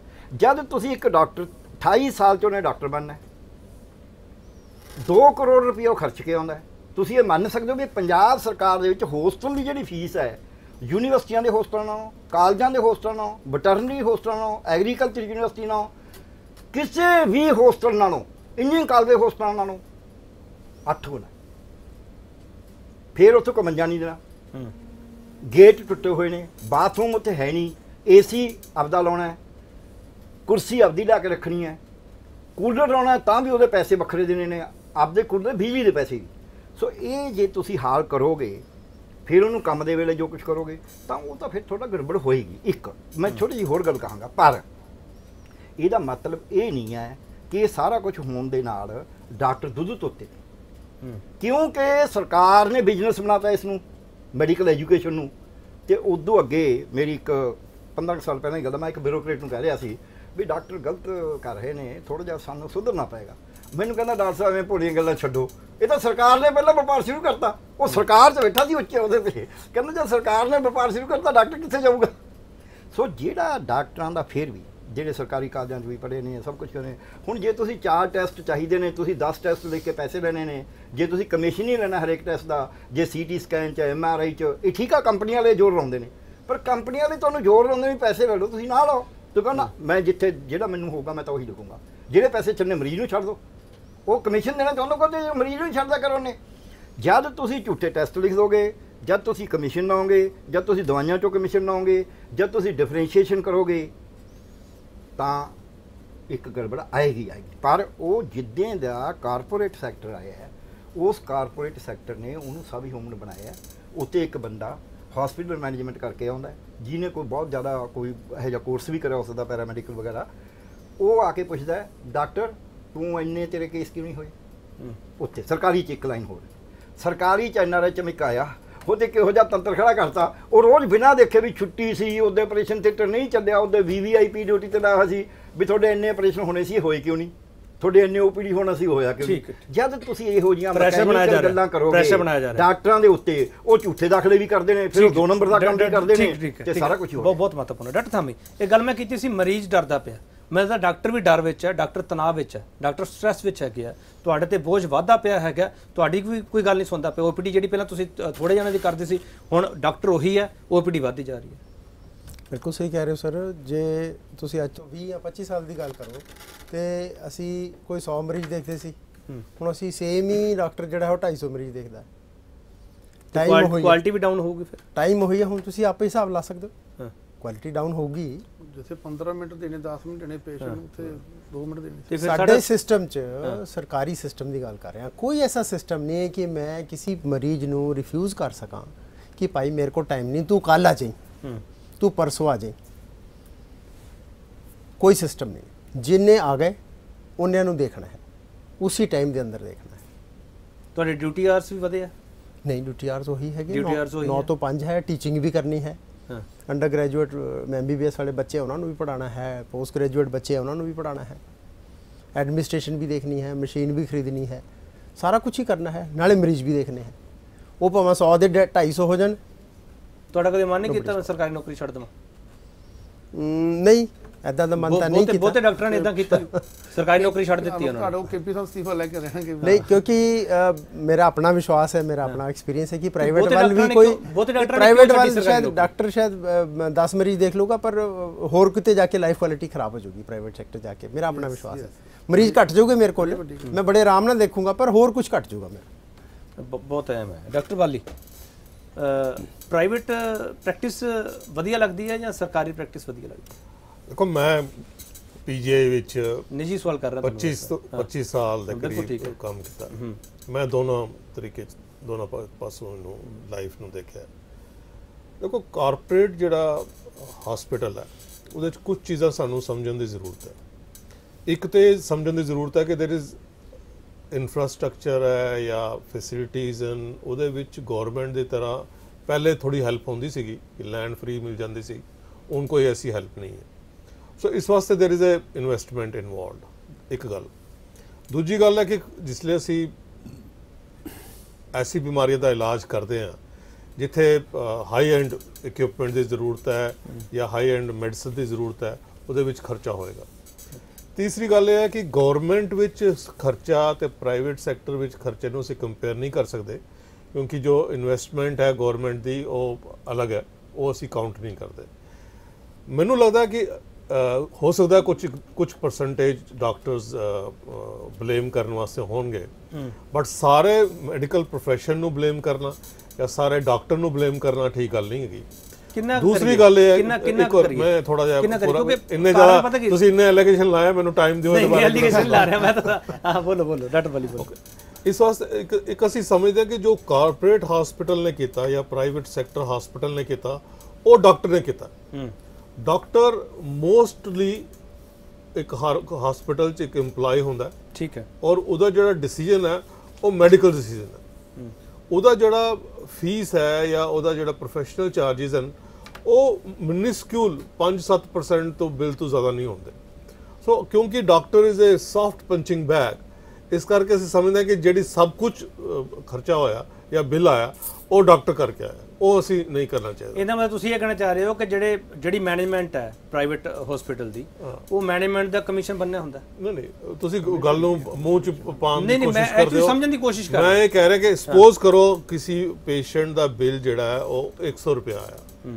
100 ਰੁਪਏ ਚੋਂ ਦਵਾਈਆਂ ਦਾ ਖਰਚਾ ਜਾਂ ਬੈੱਡ ਦਾ ਖਰਚਾ ਜਾਂ ਬਾਕੀ ਚੀਜ਼ਾਂ ਦਾ ਖਰਚਾ ਜਿਹੜਾ ਪ੍ਰੋਸੀਜਰ ਦੇ ਚਾਰजेस ਜਿਹੜਾ ਹੈਗੇ ਔਰ ਡਾਕਟਰ ਦੀ ਅਗਰ ਤੁਸੀਂ ਫੀਸ ਲਗਾਓਗੇ ਤੇ ਉਹ ਮਿਨਿਸਕਿਊਲ ਹੋਏਗੀ। 7-8% ਤੋਂ ਜ਼ਿਆਦਾ ਨਹੀਂ ਹੋਏਗੀ। ਤਾਂ ਇਸ ਕਰਕੇ ਔਰ ਉਹ ਇਹ ਡਾਕਟਰ ਦਾ ਵੀ ਡਿਸੀਜਨ ਨਹੀਂ ਹੈ। ਸੋ ਡਾਕਟਰ ਨੇ ਮੈਡੀਕਲ ਸਰਵਿਸਿਜ਼ ਪ੍ਰੋਵਾਈਡ ਕਰਨੀਆਂ ਟ੍ਰੀਟਮੈਂਟ ਕਰਨੀ ਹੈ। ਬਾਕੀ ਜਿਹੜੀ ਕੇਅਰ ਹੈ ਉਹ ਡਾਕਟਰ ਉਹਦੇ ਵਿੱਚ ਉਹਦਾ ਕੋਈ ਰੋਲ ਨਹੀਂ ਪਲੇ ਕਰਦਾ। ਤੁਹਾਨੂੰ ਜ਼ਿਆਦਾ ਮੈਂ ਤੁਹਾਨੂੰ ਦੁਬਾਰਾ ਦੁਬਾਰਾ ਇਹ ਕਹਾਂਗਾ ਤੁਹਾਨੂੰ ਜ਼ਿਆਦਾ ਜ਼ਿਆਦਾ ਸੈਟੀਸਫੈਕਸ਼ਨ ਹੈ ਜਿਹੜੀ। ਉਹ ਕਿਹੜੀ ਕਿਹੜੀ ਜੌਬ ਚਾਹੀਏ ਪੀਜੀਆਈ ਚ ਜਾਂ ਹੁਣ? ਮੈਂ ਕਹਾਂਗਾ ਕਿ ਦੋਨਾਂ ਦੋਨਾਂ ਦੇ ਆਪਣੇ ਆਪਣੇ ਲਿਮਿਟੇਸ਼ਨ ਦੋਨਾਂ ਦੇ ਆਪਣੇ ਆਪਣੇ limitations ਹਾਂ ਮੈਂ ਦੱਸਾਂ ਕੀ ਕੀ ਲਿਮਿਟੇਸ਼ਨ ਹਾਂ। ਅਗਰ ਅਸੀਂ ਪੀਜੀਐਚ ਕਰੀਏ ਜਿਸ ਤਰ੍ਹਾਂ ਡਾਕਟਰ ਤਾਂਬੀ ਨੇ ਕਿਹਾ ਕਿ ਅਗਰ ਤੁਸੀਂ 400 ਮਰੀਜ਼ ਦੇਖਣੇ ਨੇ ਤਾਂ ਉਹਦੇ ਵਿੱਚ ਕੁਆਲਿਟੀ ਸਫਰ ਕਰਦੀ ਹੈ ਇੱਕ ਗੱਲ। ਠੀਕ ਹੈ। ਦੂਸਰੀ ਗੱਲ ਇਹ ਹੈ ਕਿ ਅਗਰ ਤੁਸੀਂ ਅੱਜ ਦੇ ਦਿਨ ਚ ਸਪੈਸ਼ਲਾਈਜੇਸ਼ਨ ਦਾ ਨਿਸ਼ ਏਰੀਆ ਟ੍ਰੀਟਮੈਂਟ ਕਰਨ ਦਾ ਤਰੀਕਾ। ਉਹਦੇ ਵਿੱਚ ਤੁਸੀਂ ਪੀਜੀਆਈ ਵਿੱਚ ਰਹਿ ਕੇ ਜਾਂ ਮੈਡੀਕਲ ਕਾਲਜ ਚ ਰਹਿ ਕੇ ਉਹ ਚੀਜ਼ ਨਹੀਂ ਕਰ ਸਕਦੇ ਤੁਹਾਨੂੰ ਹਰ ਇੱਕ ਚੀਜ਼ ਦੇਖਣੀ ਪੈਂਦੀ ਹੈ। ਸੋ ਸਪੈਸ਼ਲਾਈਜੇਸ਼ਨ ਨਹੀਂ ਹੁੰਦੀ ਓਕੇ ਤੇ ਕਾਰਪੋਰੇਟ ਸੈਕਟਰ ਦੀ ਪ੍ਰੋਬਲਮ ਕਾਫੀ ਹੋ ਗਈ ਹੈ ਤੋਂ ਇਸ ਵਾਸਤੇ ਮੈਂ ਕਹਾਂਗਾ ਕਿ government sector is more satisfying okay no doubt sure but the point is that there is a there are a lot of problems in government sector mm -hmm. which are not being addressed and which are not likely to be addressed in near future. ਚਲੋ ਕੋਸ਼ਿਸ਼ ਕਰਾਂਗੇ ਆਪਾਂ ਇਹਨਾਂ ਇਹਨਾਂ ਦਿੱਕਤਾਂ ਬਾਰੇ ਵੀ ਜ਼ਿਕਰ ਕਰਦੇ ਰਹੀਏ ਡਾਕਟਰ ਸਿਹਤ ਤੇ ਸਿਸਟਮ ਬ੍ਰੇਕ ਤੋਂ ਵਾਪਸ ਆ ਕੇ ਹੋਰ ਸਵਾਲ ਹੋਣਗੇ ਜ਼ਰੂਰ ਸਵਾਲ ਇਹੋ ਜਿਹੇ ਹੈਗੇ ਜਿਹੜੇ ਤੁਹਾਡੇ ਸਾਡੇ ਨਾਲ ਸਿੱਧੇ ਤੌਰ ਤੇ ਜੁੜੇ ਹੋਏ ਆ ਅਸੀਂ ਕੋਸ਼ਿਸ਼ ਕਰ ਰਹੇ ਹਾਂ ਕਿ ਅ, ਸੌਖੀ ਭਾਸ਼ਾ ਦੇ ਵਿੱਚ ਇਹ ਚਰਚਾ ਜਿਹੜੀ ਅੱਗੇ ਵਧਾਈ ਜਾਵੇ ਬ੍ਰੇਕ ਤੋਂ ਵਾਪਸ ਆ ਕੇ ਹੋਰ ਸੌਖੀ ਭਾਸ਼ਾ ਦੇ ਵਿੱਚ ਸਵਾਲ ਕਰਨ ਦੀ ਕੋਸ਼ਿਸ਼ ਕਰੂੰਗਾ ਜ਼ਰੂਰ ਸਵਾਲ ਇੱਕੋ ਪੁੱਛ ਰਹੇ ਵੱਡਾ ਸਵਾਲ ਅਸੀਂ ਇਹ ਪੁੱਛ ਰਹੇ ਕੌਮੀ ਡਾਕਟਰ ਦਿਹਾੜੇ ਮੌਕੇ ਦੇਸ਼ ਦੇ ਸਿਹਤ ਢਾਂਚੇ ਅੱਗੇ ਵੱਡੀ ਚੁਣੌਤੀ ਕੀ ਹੈ ਤੇ ਨੈਸ਼ਨਲ ਡਾਕਟਰ ਡੇ ਮਨਾਇਆ ਜਾ ਰਿਹਾ ਦਾ ਥੀਮ ਹੈਗਾ ਡਾਕਟਰਾਂ ਦੇ ਪ੍ਰਤੀ ਹਿੰਸਾ ਨੂੰ ਲੈ ਕੇ ਜ਼ੀਰੋ ਟੋਲਰੈਂਸ ਸੁਖਵੀਰ ਬਾਜਵਾ, ਇਹ ਦਿਨ ਕਿਉਂ ਮਨਾਉਣਾ ਪੈ ਰਿਹਾ? ਅਸੀਂ ਵੈਸਟ ਬੰਗਾਲ ਦੀ ਵੀ ਐਗਜ਼ਾਮਪਲ ਚੱਕ ਲਈਏ ਜਾਂ ਹੋਰ ਸਾਡੇ ਕੋਲ ਅੱਜ ਵੀ ਕਈ ਖਬਰਾਂ ਇਹੋ ਜਿਹੀਆਂ ਹੈਗੀਆਂ ਜਿੱਥੇ ਮਰੀਜ਼ ਆ ਜਾਂ ਮਰੀਜ਼ਾਂ ਦੇ ਪਰਿਵਾਰ ਜਿਹੜੇ ਇੰਨੇ ਭੜਕੇ ਆ ਕਿ ਡਾਕਟਰ ਸੁਰੱਖਿਆ ਮੰਗਣ ਲੱਗ ਪਏ ਤੇ ਇੱਕ ਖਬਰ ਤੇ ਇਹੋ ਜਿਹੀ ਆ ਕਿ ਇੱਕ ਡਾਕਟਰ ਨੇ ਬਾਉਂਸਰ ਤੱਕ ਰੱਖ ਲਿਆ। ਸੁਖਵੀਰ ਬਾਜਵਾ। ਦੇਖੋ, ਗੱਲ ਇਹ ਹੈ ਕਿ ਅਸੀਂ ਵੀ ਦੇਖਦੇ ਹਾਂ ਕਿ ਜਦੋਂ ਮੰਨ ਲਓ ਕਿ ਅਸੀਂ ਮਰੀਜ਼ ਲੈ ਕੇ ਜਾਂਦੇ ਆ ਉਹਨੂੰ ਤਕਲੀਫ ਹੁੰਦੀ ਹੈ। ਦੋ ਪੇਸ਼ੈਂਟ ਪਹਿਲਾਂ ਉਹਦੇ ਕੋਲ ਕੁਰਸੀ ਤੇ ਬੈਠੇ ਹੁੰਦੇ ਆ ਐਮਰਜੈਂਸੀ ਭਰੀ ਹੁੰਦੀ ਆ ਕੇ। ਹਰ ਕੋਈ ਬੰਦਾ ਚਾਹੁੰਦਾ ਕਿ ਮੈਨੂੰ ਪਹਿਲਾਂ ਵੇਖ ਲੈਣ, ਮੇਰਾ ਇਲਾਜ ਕਰ ਲੈਣ ਆ ਕੇ। ਕਿਉਂਕਿ ਹਰ ਤਕਲੀਫ ਆਪੋ ਆਪਣੀ ਹੁੰਦੀ ਹੈ, ਕਿਸੇ ਨੂੰ ਜ਼ਿਆਦਾ ਹੁੰਦੀ ਹੈ, ਕਿਸੇ ਨੂੰ ਅੰਜਾਈਨਾ ਪੇਨ ਹੋ ਰਹੀ ਹੁੰਦੀ ਹੈ, ਕਿਸੇ ਨੂੰ ਚੈਸਟ ਪੇਨ ਹੋ ਰਹੀ ਹੁੰਦੀ ਹੈ। ਉਹ ਕਿਸੇ ਨੂੰ ਮਾੜੀ ਉਹ ਤੱਕਦੇ ਹੁਣ ਤਾਂ ਜਨਰਲ ਨੂੰ ਤਾਂ ਕਾਰਡੀਓਲੋਜਿਸਟ ਡਾਕਟਰ ਬੜੇ ਸੀਨੀਅਰ ਬੈਠੇ ਨੇ, ਆਪਣੇ ਗਰ ਸਾਹਿਬ ਵੀ ਬਾਕੀ ਤਾਂ ਵੀ ਸਾਹਿਬ ਉਹਨਾਂ ਕੀ ਹੈ ਕਿ ਹਰ ਕੋਈ ਕਹਿੰਦਾ ਦਰਦ ਹੋ ਰਹੀ ਹੈ ਨਾ ਜੀ ਆ ਕੇ, ਅਗਲਾ ਫਟਾਫਟ ਈਸੀਜੀ ਕਰਾਓ, ਇਹ ਕਰਾਓ। ਲੇਕਿਨ ਜਦੋਂ ਮਰੀਜ਼ ਦੀ ਹਾਲਾਤ ਥੋੜਾ ਜਿਹਾ, ਕਿਉਂਕਿ ਉਹਨੇ 100 ਪੇਸ਼ੈਂਟ ਦੇਖਣਾ ਹੈ, ਉਹ ਲੇਕਿਨ ਇਹ ਕਹਿਣਾ ਕਿ ਉਹ ਜਾਣ ਕੇ ਡਾਕਟਰ ਇਲਾਜ ਨਹੀਂ ਕਰ ਰਿਹਾ, ਮੇਰੇ ਖਿਆਲ ਇਹ ਦੋਸ਼ ਗਲਤ ਨੇ। ਕੋਈ ਮੇਰੇ ਖਿਆਲ ਡਾਕਟਰ ਹੈ ਵੀ ਇਹ ਕਹਿੰਦਾ ਮਰਦਾ ਮਰਨ ਦਿਓ, ਮੈਂ ਕਰਨਾ ਕਿ ਸਰਕਾਰੀ ਤੌਰ ਤੇ, ਮੈਂ ਮੈਂ ਕਦੀ ਵੇਖਿਆ ਨਹੀਂ। ਹਾਂ, ਉਹ ਚੋਂ ਇੱਕ ਨੂੰ ਟਾਈਮ ਜ਼ਿਆਦਾ ਦਿੱਤਾ, ਦੂਜੇ ਨੂੰ ਘੱਟ ਦੇਤਾ, ਲੇਕਿਨ ਜਿਹੜੀ ਪਰਿਵਾਰ ਉੱਥੇ ਆਏ, ਉਹਨਾਂ ਨੂੰ ਵੀ ਥੋੜੀ ਜਿਹੀ ਪੇਸ਼ੈਂਸ ਹੋਣੀ ਚਾਹੀਦੀ ਆ ਕੇ ਹੀ ਆ ਕੇ।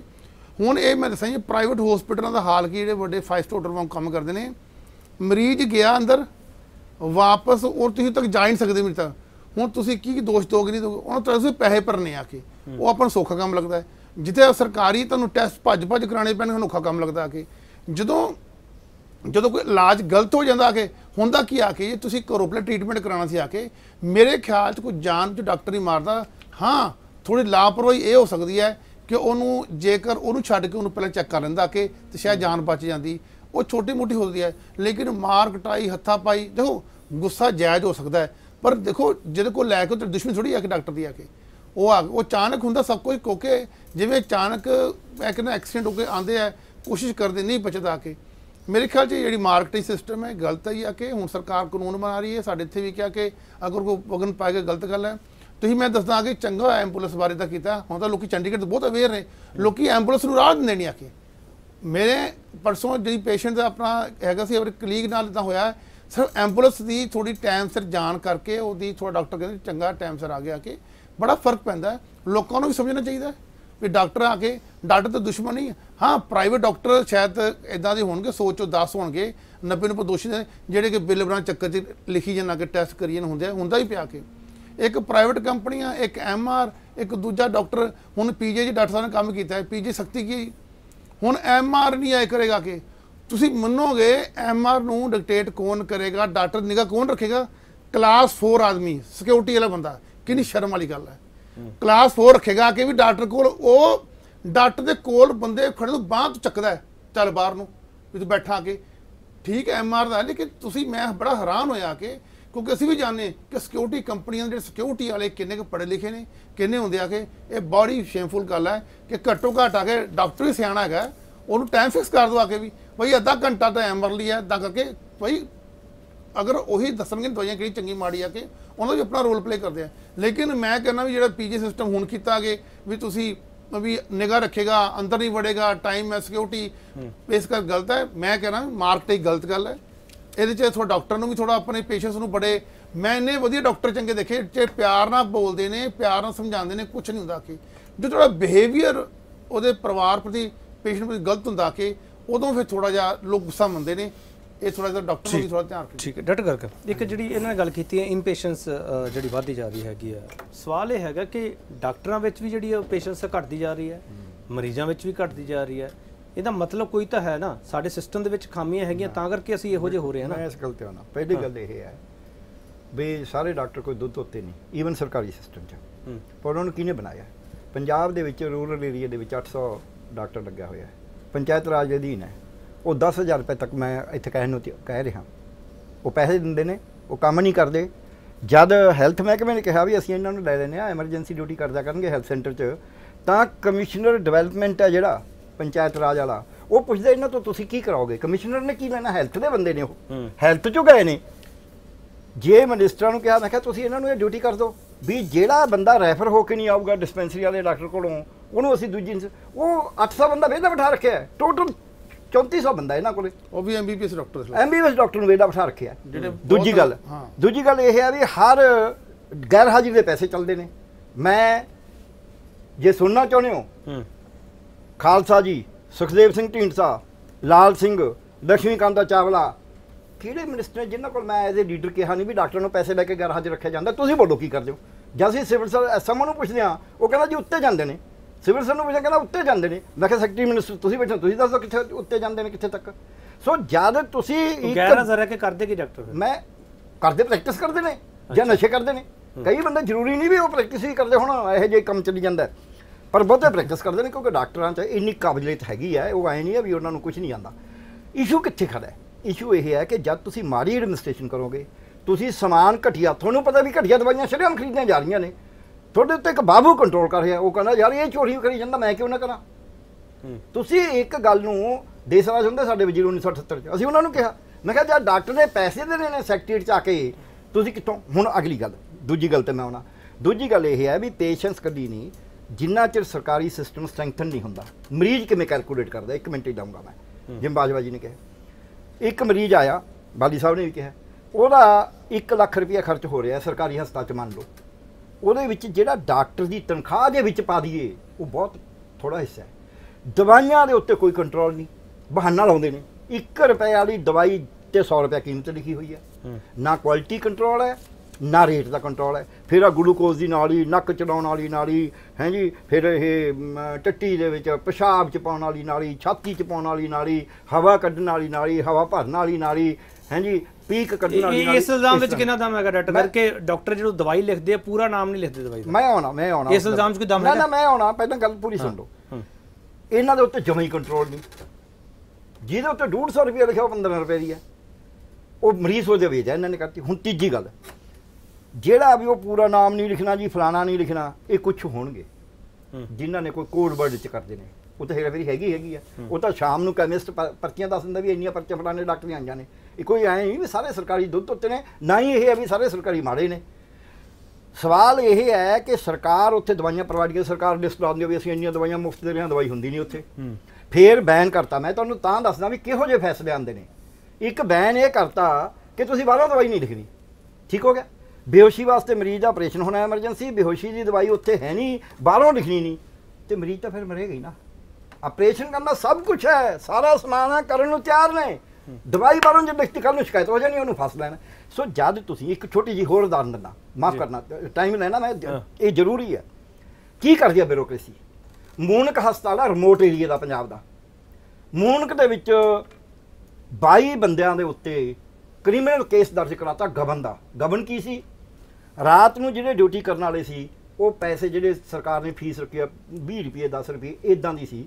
ਜਿਹੜੀ ਕਿਸੇ ਕੋਲ 400 ਰੁਪਏ ਜਮ੍ਹਾਂ ਨਹੀਂ ਹੋਇਆ ਕਿਸੇ ਕੋਲ 600 ਨਹੀਂ ਜਮ੍ਹਾਂ ਹੋਇਆ ਰਿਕਾਰਡ ਹੈ ਸਾਰਾ। ਉਹਦੇ ਕੋਲ ਪੈਸੇ ਨੇ ਵੀ ਕਿਉਂਕਿ ਉੱਤੇ ਬਾਬੂ ਨਹੀਂ ਬੈਠਾ ਕੋਈ ਸਵੇਰੇ ਜਾ। ਹੁਣ ਜਿਹੜਾ ਰਾਤ ਨੂੰ 12 ਘੰਟੇ ਡਿਊਟੀ ਕਰਕੇ ਗਿਆ ਉਹ ਉੱਥੇ ਪੈਸੇ ਜਮ੍ਹਾਂ ਕਰਾਉਣ ਵਾਸਤੇ ਨਹੀਂ ਖੜ ਸਕਦਾ। ਉਹਨਾਂ ਦੇ ਉੱਤੇ ਕੇਸ ਦਰਜ ਕਰਤਾ। ਬੜੀ ਮੁਸ਼ਕਲ ਨਾਲ ਉਹ ਕੇਸ ਰੋਕਿਆ। ਤਿੰਨ ਸਾਲ ਉਹ ਕੇਸ ਚੱਲਦਾ ਰਿਹਾ। ਇੱਥੇ ਜਿਹੜੇ ਬੰਦੇ ਨੇ ਕੇਸ ਦਰਜ ਕਰਿਆ ਉਹ ਦਵਾਈਆਂ 'ਚ ਉਹ ਫੂਡ ਕਮਿਸ਼ਨਰ ਉਹ ਫਲਾਣੇ 'ਚ ਉਹਦੀ ਅੱਜ ਇਨਕੁਆਇਰੀ ਕਰ ਲਓ ਉਹਦੀ ਜਾਇਦਾਦ ਦੀ ਫੇਰ ਪਤਾ ਲੱਗੂ। ਤੁਸੀਂ 200 ਰੁਪਏ ਵਾਸਤੇ ਇੱਕ ਡਾਕਟਰ ਨੂੰ ਬਦਨੀ ਬਦ- ਉਹ ਕਹਿੰਦੇ ਹੋ ਵੀ ਇਹਨੇ ਗਵਨ ਕਰ ਲਿਆ ਜਿਹੜੀ ਕਿ ਉਹਨੇ ਪਰਚੀ ਕੱਟੀ ਹੋਈ ਹੈ ਜਿਹੜੀ ਰਸੀਦ ਹੈ ਜਿਹੜਾ ਰਿਕਾਰਡ ਹੈ ਕਿ 200 ਰੁਪਿਆ ਇਹਦੇ ਕੋਲ ਹੈ ਇਹਨੇ ਜਮ੍ਹਾਂ ਨਹੀਂ ਕਰਾਇਆ ਜੀ ਇਹ ਕਿਹੜਾ ਗੁਨਾਹ ਆ ਗਿਆ? ਹੂੰ। ਇਹਨਾਂ ਨੇ ਕਰਿਆ ਔਰ ਮੈਂ ਵੱਡੇ ਤੋਂ ਵੱਡੇ ਅਫਸਰ ਨੂੰ ਮਿਲਿਆ। ਮਿਨਿਸਟਰ ਤੱਕ ਨੂੰ ਦੱਸਿਆ ਵੀ ਇਹ ਕੀ ਕਰਦਾ ਤੁਹਾਡੇ ਕੋਲ ਰਹੂਗਾ ਕੌਣ? Who will come to you ਅਰੇ ਅਗਲੀ ਗੱਲ ਉਸ ਬੰਦੇ ਦੀ ਉਹ ਫੂਡ ਕਮਿਸ਼ਨਰ ਦੀ ਇੱਥੇ ਸਾਰਾ ਤੇਲ ਸਰੋਂ ਦਾ ਤੇਲ ਆ ਜਿਹੜਾ ਸਾਰਾ ਮਾੜਾ ਵਿਕਦਾ ਹੈ। ਉਹਨੇ ਜਿਹੜੇ ਵਪਾਰੀ ਨੇ ਕੇਸ ਕਰਿਆ ਕੋਰਟ 'ਚ ਉਹਨੂੰ ਬੁਲਾ ਕੇ ਕਹਿੰਦਾ ਕਹਿੰਦਾ ਸਾਨੂੰ ਤਾਂ ਫਾਇਦਾ ਹੀ ਹੈ ਹੋਰ ਪੈਸੇ ਇਕੱਠੇ ਹੋ ਜਾਣਗੇ। ਤੁਸੀਂ ਕਰੋ ਰੋਲਾ ਪਾਓ। ਜਦ ਤੁਸੀਂ ਉੱਤੇ ਜਿਹੜੇ ਬੰਦੇ ਬੈਠੇ ਨੇ ਜਿਨ੍ਹਾਂ ਨੇ ਦਵਾਈਆਂ ਖਰੀਦੀਆਂ ਨੇ ਜਿਨ੍ਹਾਂ ਨੇ ਸਾਜੋ ਸਮਾਨ ਖਰੀਦਣਾ ਜਿਨ੍ਹਾਂ ਨੇ ਬਿਲਡਿੰਗਾਂ ਆ ਜਿਹੜੀ ਮਰਜ਼ੀ ਮਹਾਲੀ ਦੇ ਹਸਪਤਾਲ ਜਾ ਰਹੋ ਬੀਮ ਟੁੱਟਾ ਹੋਇਆ ਨਵੀਂ ਬਿਲਡਿੰਗ ਦਾ। ਐਨਸੀਐਚ ਹਸਪਤਾਲ ਬਣਿਆ। ਵੀ ਇਹਨਾਂ ਨੇ ਬਣਾਏ ਨੇ 5-5 ਕਰੋੜ ਰੁਪਇਆ ਲਾ ਕੇ ਡੀ ਰੀਹੈਬਿਲਿਟੇਸ਼ਨ ਸੈਂਟਰ ਇੱਕ ਦਿਖਾ ਦਿਓ ਵੀ ਉਹਦੀ ਲੋੜ ਸੀ। ਠੀਕ, ਸੋ। ਜੇ ਤੁਸੀਂ ਬਿਨਾਂ ਜਿੰਨੇ ਕ ਪੈਸੇ ਨੇ ਪਹਿਲੀ ਗੱਲ ਪੈਸੇ ਘੱਟ ਨੇ। ਦੂਜੀ ਗੱਲ ਜਿਹੜੇ ਹੈਗੇ ਨੇ ਉਹ ਤੁਸੀਂ ਉਹੋ ਜਿਹੇ ਸਮਾਨ ਤੇ ਖਰਚੀ ਜਾਓ ਜਿਹਦੀ ਲੋੜ ਨਹੀਂ ਹੈ।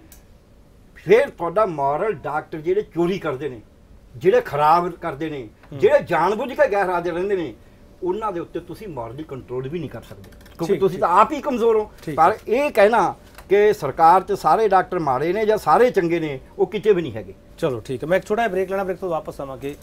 ਬਹੁਤ ਸਾਰੇ ਸਵਾਲ ਉੱਠਦੇ ਪਏ ਹੈਗੇ ਆ ਤੇ ਇਹ ਸਵਾਲ ਅੱਜ ਦੇ ਨਹੀਂ ਉੱਠਦੇ ਪਏਗੇ ਬੜੇ ਸਾਲਾਂ ਤੋਂ ਉੱਠਦੇ ਪਏ ਆ। ਪਰ ਇਹਨਾਂ ਸਵਾਲਾਂ ਦਾ ਕੋਈ ਹੱਲ ਹੈਗਾ? ਕੋਈ ਜਵਾਬ ਹੈਗਾ ਇਹਨਾਂ ਦਾ? ਕੋਈ ਹੱਲ ਕੋਈ ਕੱਢ ਸਕਦਾ ਹੈਗਾ? ਕਿਹੜਾ ਸਿਸਟਮ ਇਹਦਾ ਹੱਲ ਕੱਢ ਸਕਦਾ ਹੈਗਾ? ਉਸ ਹਿੱਸੇ ਤੇ ਵੀ ਚਰਚਾ ਕਰਨੀ ਬਣਦੀ ਹੈ। ਬ੍ਰੇਕ ਤੋਂ ਵਾਪਸ ਆ ਕੇ ਉਸ ਹਿੱਸੇ ਦੀ ਚਰਚਾ ਕਰਾਂਗੇ ਜ਼ਰੂਰ। ਸਵਾਲ ਇੱਕੋ ਪੁੱਛ ਰਹੇ ਬੜਾ ਸਵਾਲ ਅਸੀਂ ਇਹ ਪੁੱਛ ਰਹੇ ਹਾਂ ਕੌਮੀ ਡਾਕਟਰ ਦਿਹਾੜੇ ਮੌਕੇ ਦੇਸ਼ ਦੇ ਸਿਹਤ ਢਾਂਚੇ ਅੱਗੇ ਵੱਡੀ ਚੁਣੌਤੀ ਕੀ ਡਾਕਟਰ ਥਾਮੀ ਲਾਸਟ ਕਮੈਂਟ ਮੈਨੂੰ ਤੁਹਾਡੇ ਚਾਹੀਦਾ। ਡਾਕਟਰ ਥਾਮੀ ਬਹੁਤ ਸਾਰੇ ਸਵਾਲ ਉੱਠੇ ਆ ਮੈਡੀਕਲ ਜਿਹੜੀਆਂ ਕੰਪਨੀਆਂ ਹੈਗੀਆਂ ਉਹਨਾਂ ਨਾਲ ਵੀ ਗੰਢ ਤੁਪ ਤੇ ਸਵਾਲ ਉੱਠੇ ਆ। ਮਰੀਜ਼ਾਂ ਦੀ ਜੀ ਕਿਵੇਂ ਲੁੱਟ ਹੋ ਰਹੀ ਹੈ ਉਸ ਸਵਾਲ ਤੇ ਵੀ ਅਸੀਂ ਆਏ ਆ। ਆਰਥਿਕ ਸ਼ੋਸ਼ਣ ਹੋ ਰਿਹਾ ਪਾੜਾ ਜਿਹੜਾ ਵਾਧਾ ਪਿਆ ਪਿੰਡਾਂ ਤੇ ਸ਼ਹਿਰਾਂ ਦਾ ਜਿਹੜੇ ਵੱਡੇ ਵੱਡੇ ਹਸਪੀਟਲ ਬਣੇ ਆ ਜਿੱਥੇ ਆਮ ਲੋਕ ਹੈ ਜਿਹੜੇ ਇਲਾਜ ਨਹੀਂ ਕਰਾ ਸਕਦੇ ਬਹੁਤ ਸਾਰੇ ਸਵਾਲ ਹੈ ਕੋਈ ਹੱਲ ਨਜ਼ਰ ਆਉਂਦਾ ਡਾਕਟਰ ਥਾਮੀ? ਹੱਲ ਹੈ?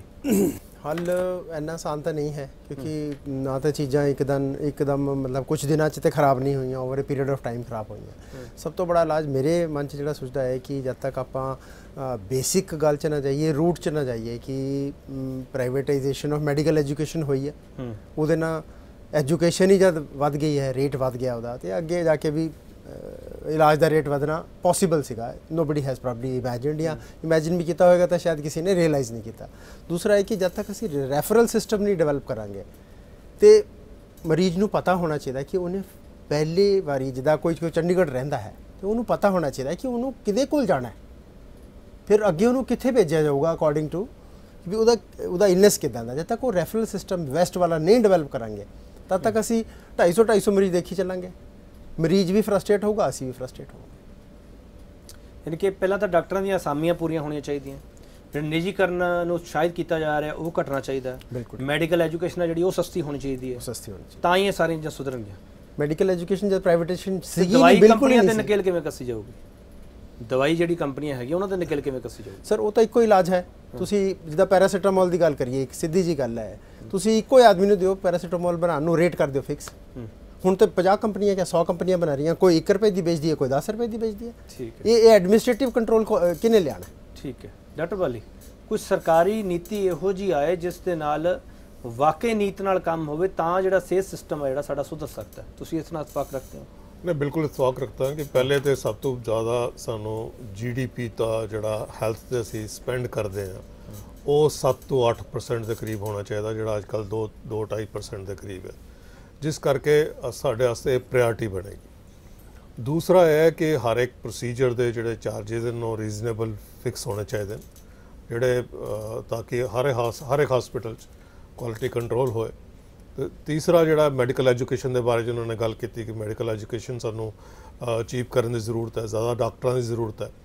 ਔਰ ਇਹ ਸਾਰੀਆਂ ਚੀਜ਼ਾਂ ਅਗਰ ਅਸੀਂ ਲੈ ਲੈ ਪਾਵਾਂਗੇ ਤਾਂ ਉਸ ਕਰਕੇ ਕਰਨ ਦੀ ਜ਼ਰੂਰਤ ਹੈ। ਅਤੇ ਨਾਲ ਨਾਲ ਸਾਨੂੰ ਅਵੇਅਰਨੈਸ ਵੀ ਕ੍ਰੀਏਟ ਕਰਨੀ ਪਏਗੀ।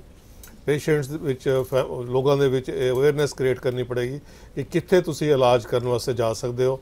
ਉਹਦਾ ਰੈਫਰਲ ਸਿਸਟਮ ਬਿਲਕੁਲ ਡਾਕਟਰ ਥਾਮੀ ਨੇ ਠੀਕ ਕਿਹਾ ਕਿ ਐਸਾ ਰੈਫਰਲ ਸਿਸਟਮ ਹੋਣਾ ਚਾਹੀਦਾ ਕਿ ਪ੍ਰਾਇਮਰੀ ਕੇਅਰ ਹੋਏ ਸੈਕੰਡਰੀ ਕੇਅਰ ਹੋਏ ਟਰਸ਼ਰੀ ਕੇਅਰ ਹੋਏ, ਤਾਂ ਕਿ ਅਗਰ ਕਿਸੇ ਮਰੀਜ਼ ਨੂੰ, ਹਰ ਇੱਕ ਪੇਸ਼ੈਂਟ ਨੂੰ ਟਰਸ਼ਰੀ ਕੇਅਰ ਹਸਪੀਟਲ ਜਾਣ ਦੀ ਜ਼ਰੂਰਤ ਨਾ ਪਏ ਤਾਂ ਕਿ ਲੋਡ ਜਿਹੜਾ ਟਰਸ਼ਰੀ ਕੇਅਰ ਹਸਪੀਟਲ ਤੇ ਘੱਟ ਹੋਏ ਤੇ ਕੁਆਲਿਟੀ ਆਫ ਕੇਅਰ ਇੰਪਰੂਵਮੈਂਟ ਹੋਏ so quality of care improvement ਕਰਨ ਦੀ ਜ਼ਰੂਰਤ ਹੈ ਰੈਗੂਲੇਸ਼ਨ ਆਫ ਪ੍ਰਾਈਸ ਕੰਟਰੋਲ ਕਰਨ ਦੀ ਜ਼ਰੂਰਤ ਹੈ ਔਰ ਤੀਸਰਾ ਹੈ ਕਿ ਜ਼ਿਆਦਾ ਮਨੀ ਸਪੈਂਡ ਕਰਨ ਦੀ ਜ਼ਰੂਰਤ ਹੈ ਗਵਰਨਮੈਂਟ ਨੂੰ ਹੈਲਥ ਸੈਕਟਰ ਤੇ ਇੱਕ ਪ੍ਰਾਇੋਰਟੀ ਬਣਾ ਕੇ ਤਾਂ ਕਿ ਜ਼ਿਆਦਾ ਫੈਸਿਲਿਟੀ ਜਿਹੜੀਆਂ ਨੇ ਉਹ ਲੋਕਾਂ ਨੂੰ ਪ੍ਰੋਵਾਈਡ ਕੀਤੀਆਂ ਜਾ ਟਟਵਾਲੀ ਇੱਕ ਡਾਕਟਰਸ ਤੇ ਅਕਸਰ ਸਵਾਲ ਉੱਠਦਾ ਹੈ ਕਿ ਕੋਈ ਵੀ ਗੱਲ ਹੁੰਦੀ ਹੈ ਉਹ ਹੜਤਾਲ ਤੇ ਜਾਣ ਦੀ ਧਮਕੀ ਦੇ ਦਿੰਦੇ ਆ ਕਿਉਂ ਦਿੰਦੇ ਆ ਡਾਕਟਰ ਹੜਤਾਲ ਤੇ ਜਾਂਦੇ ਧਮਕੀ? ਜਾਂ ਹੜਤਾਲ ਤੇ ਚਲੇ ਵੀ ਜਾਂਦੇ ਆ?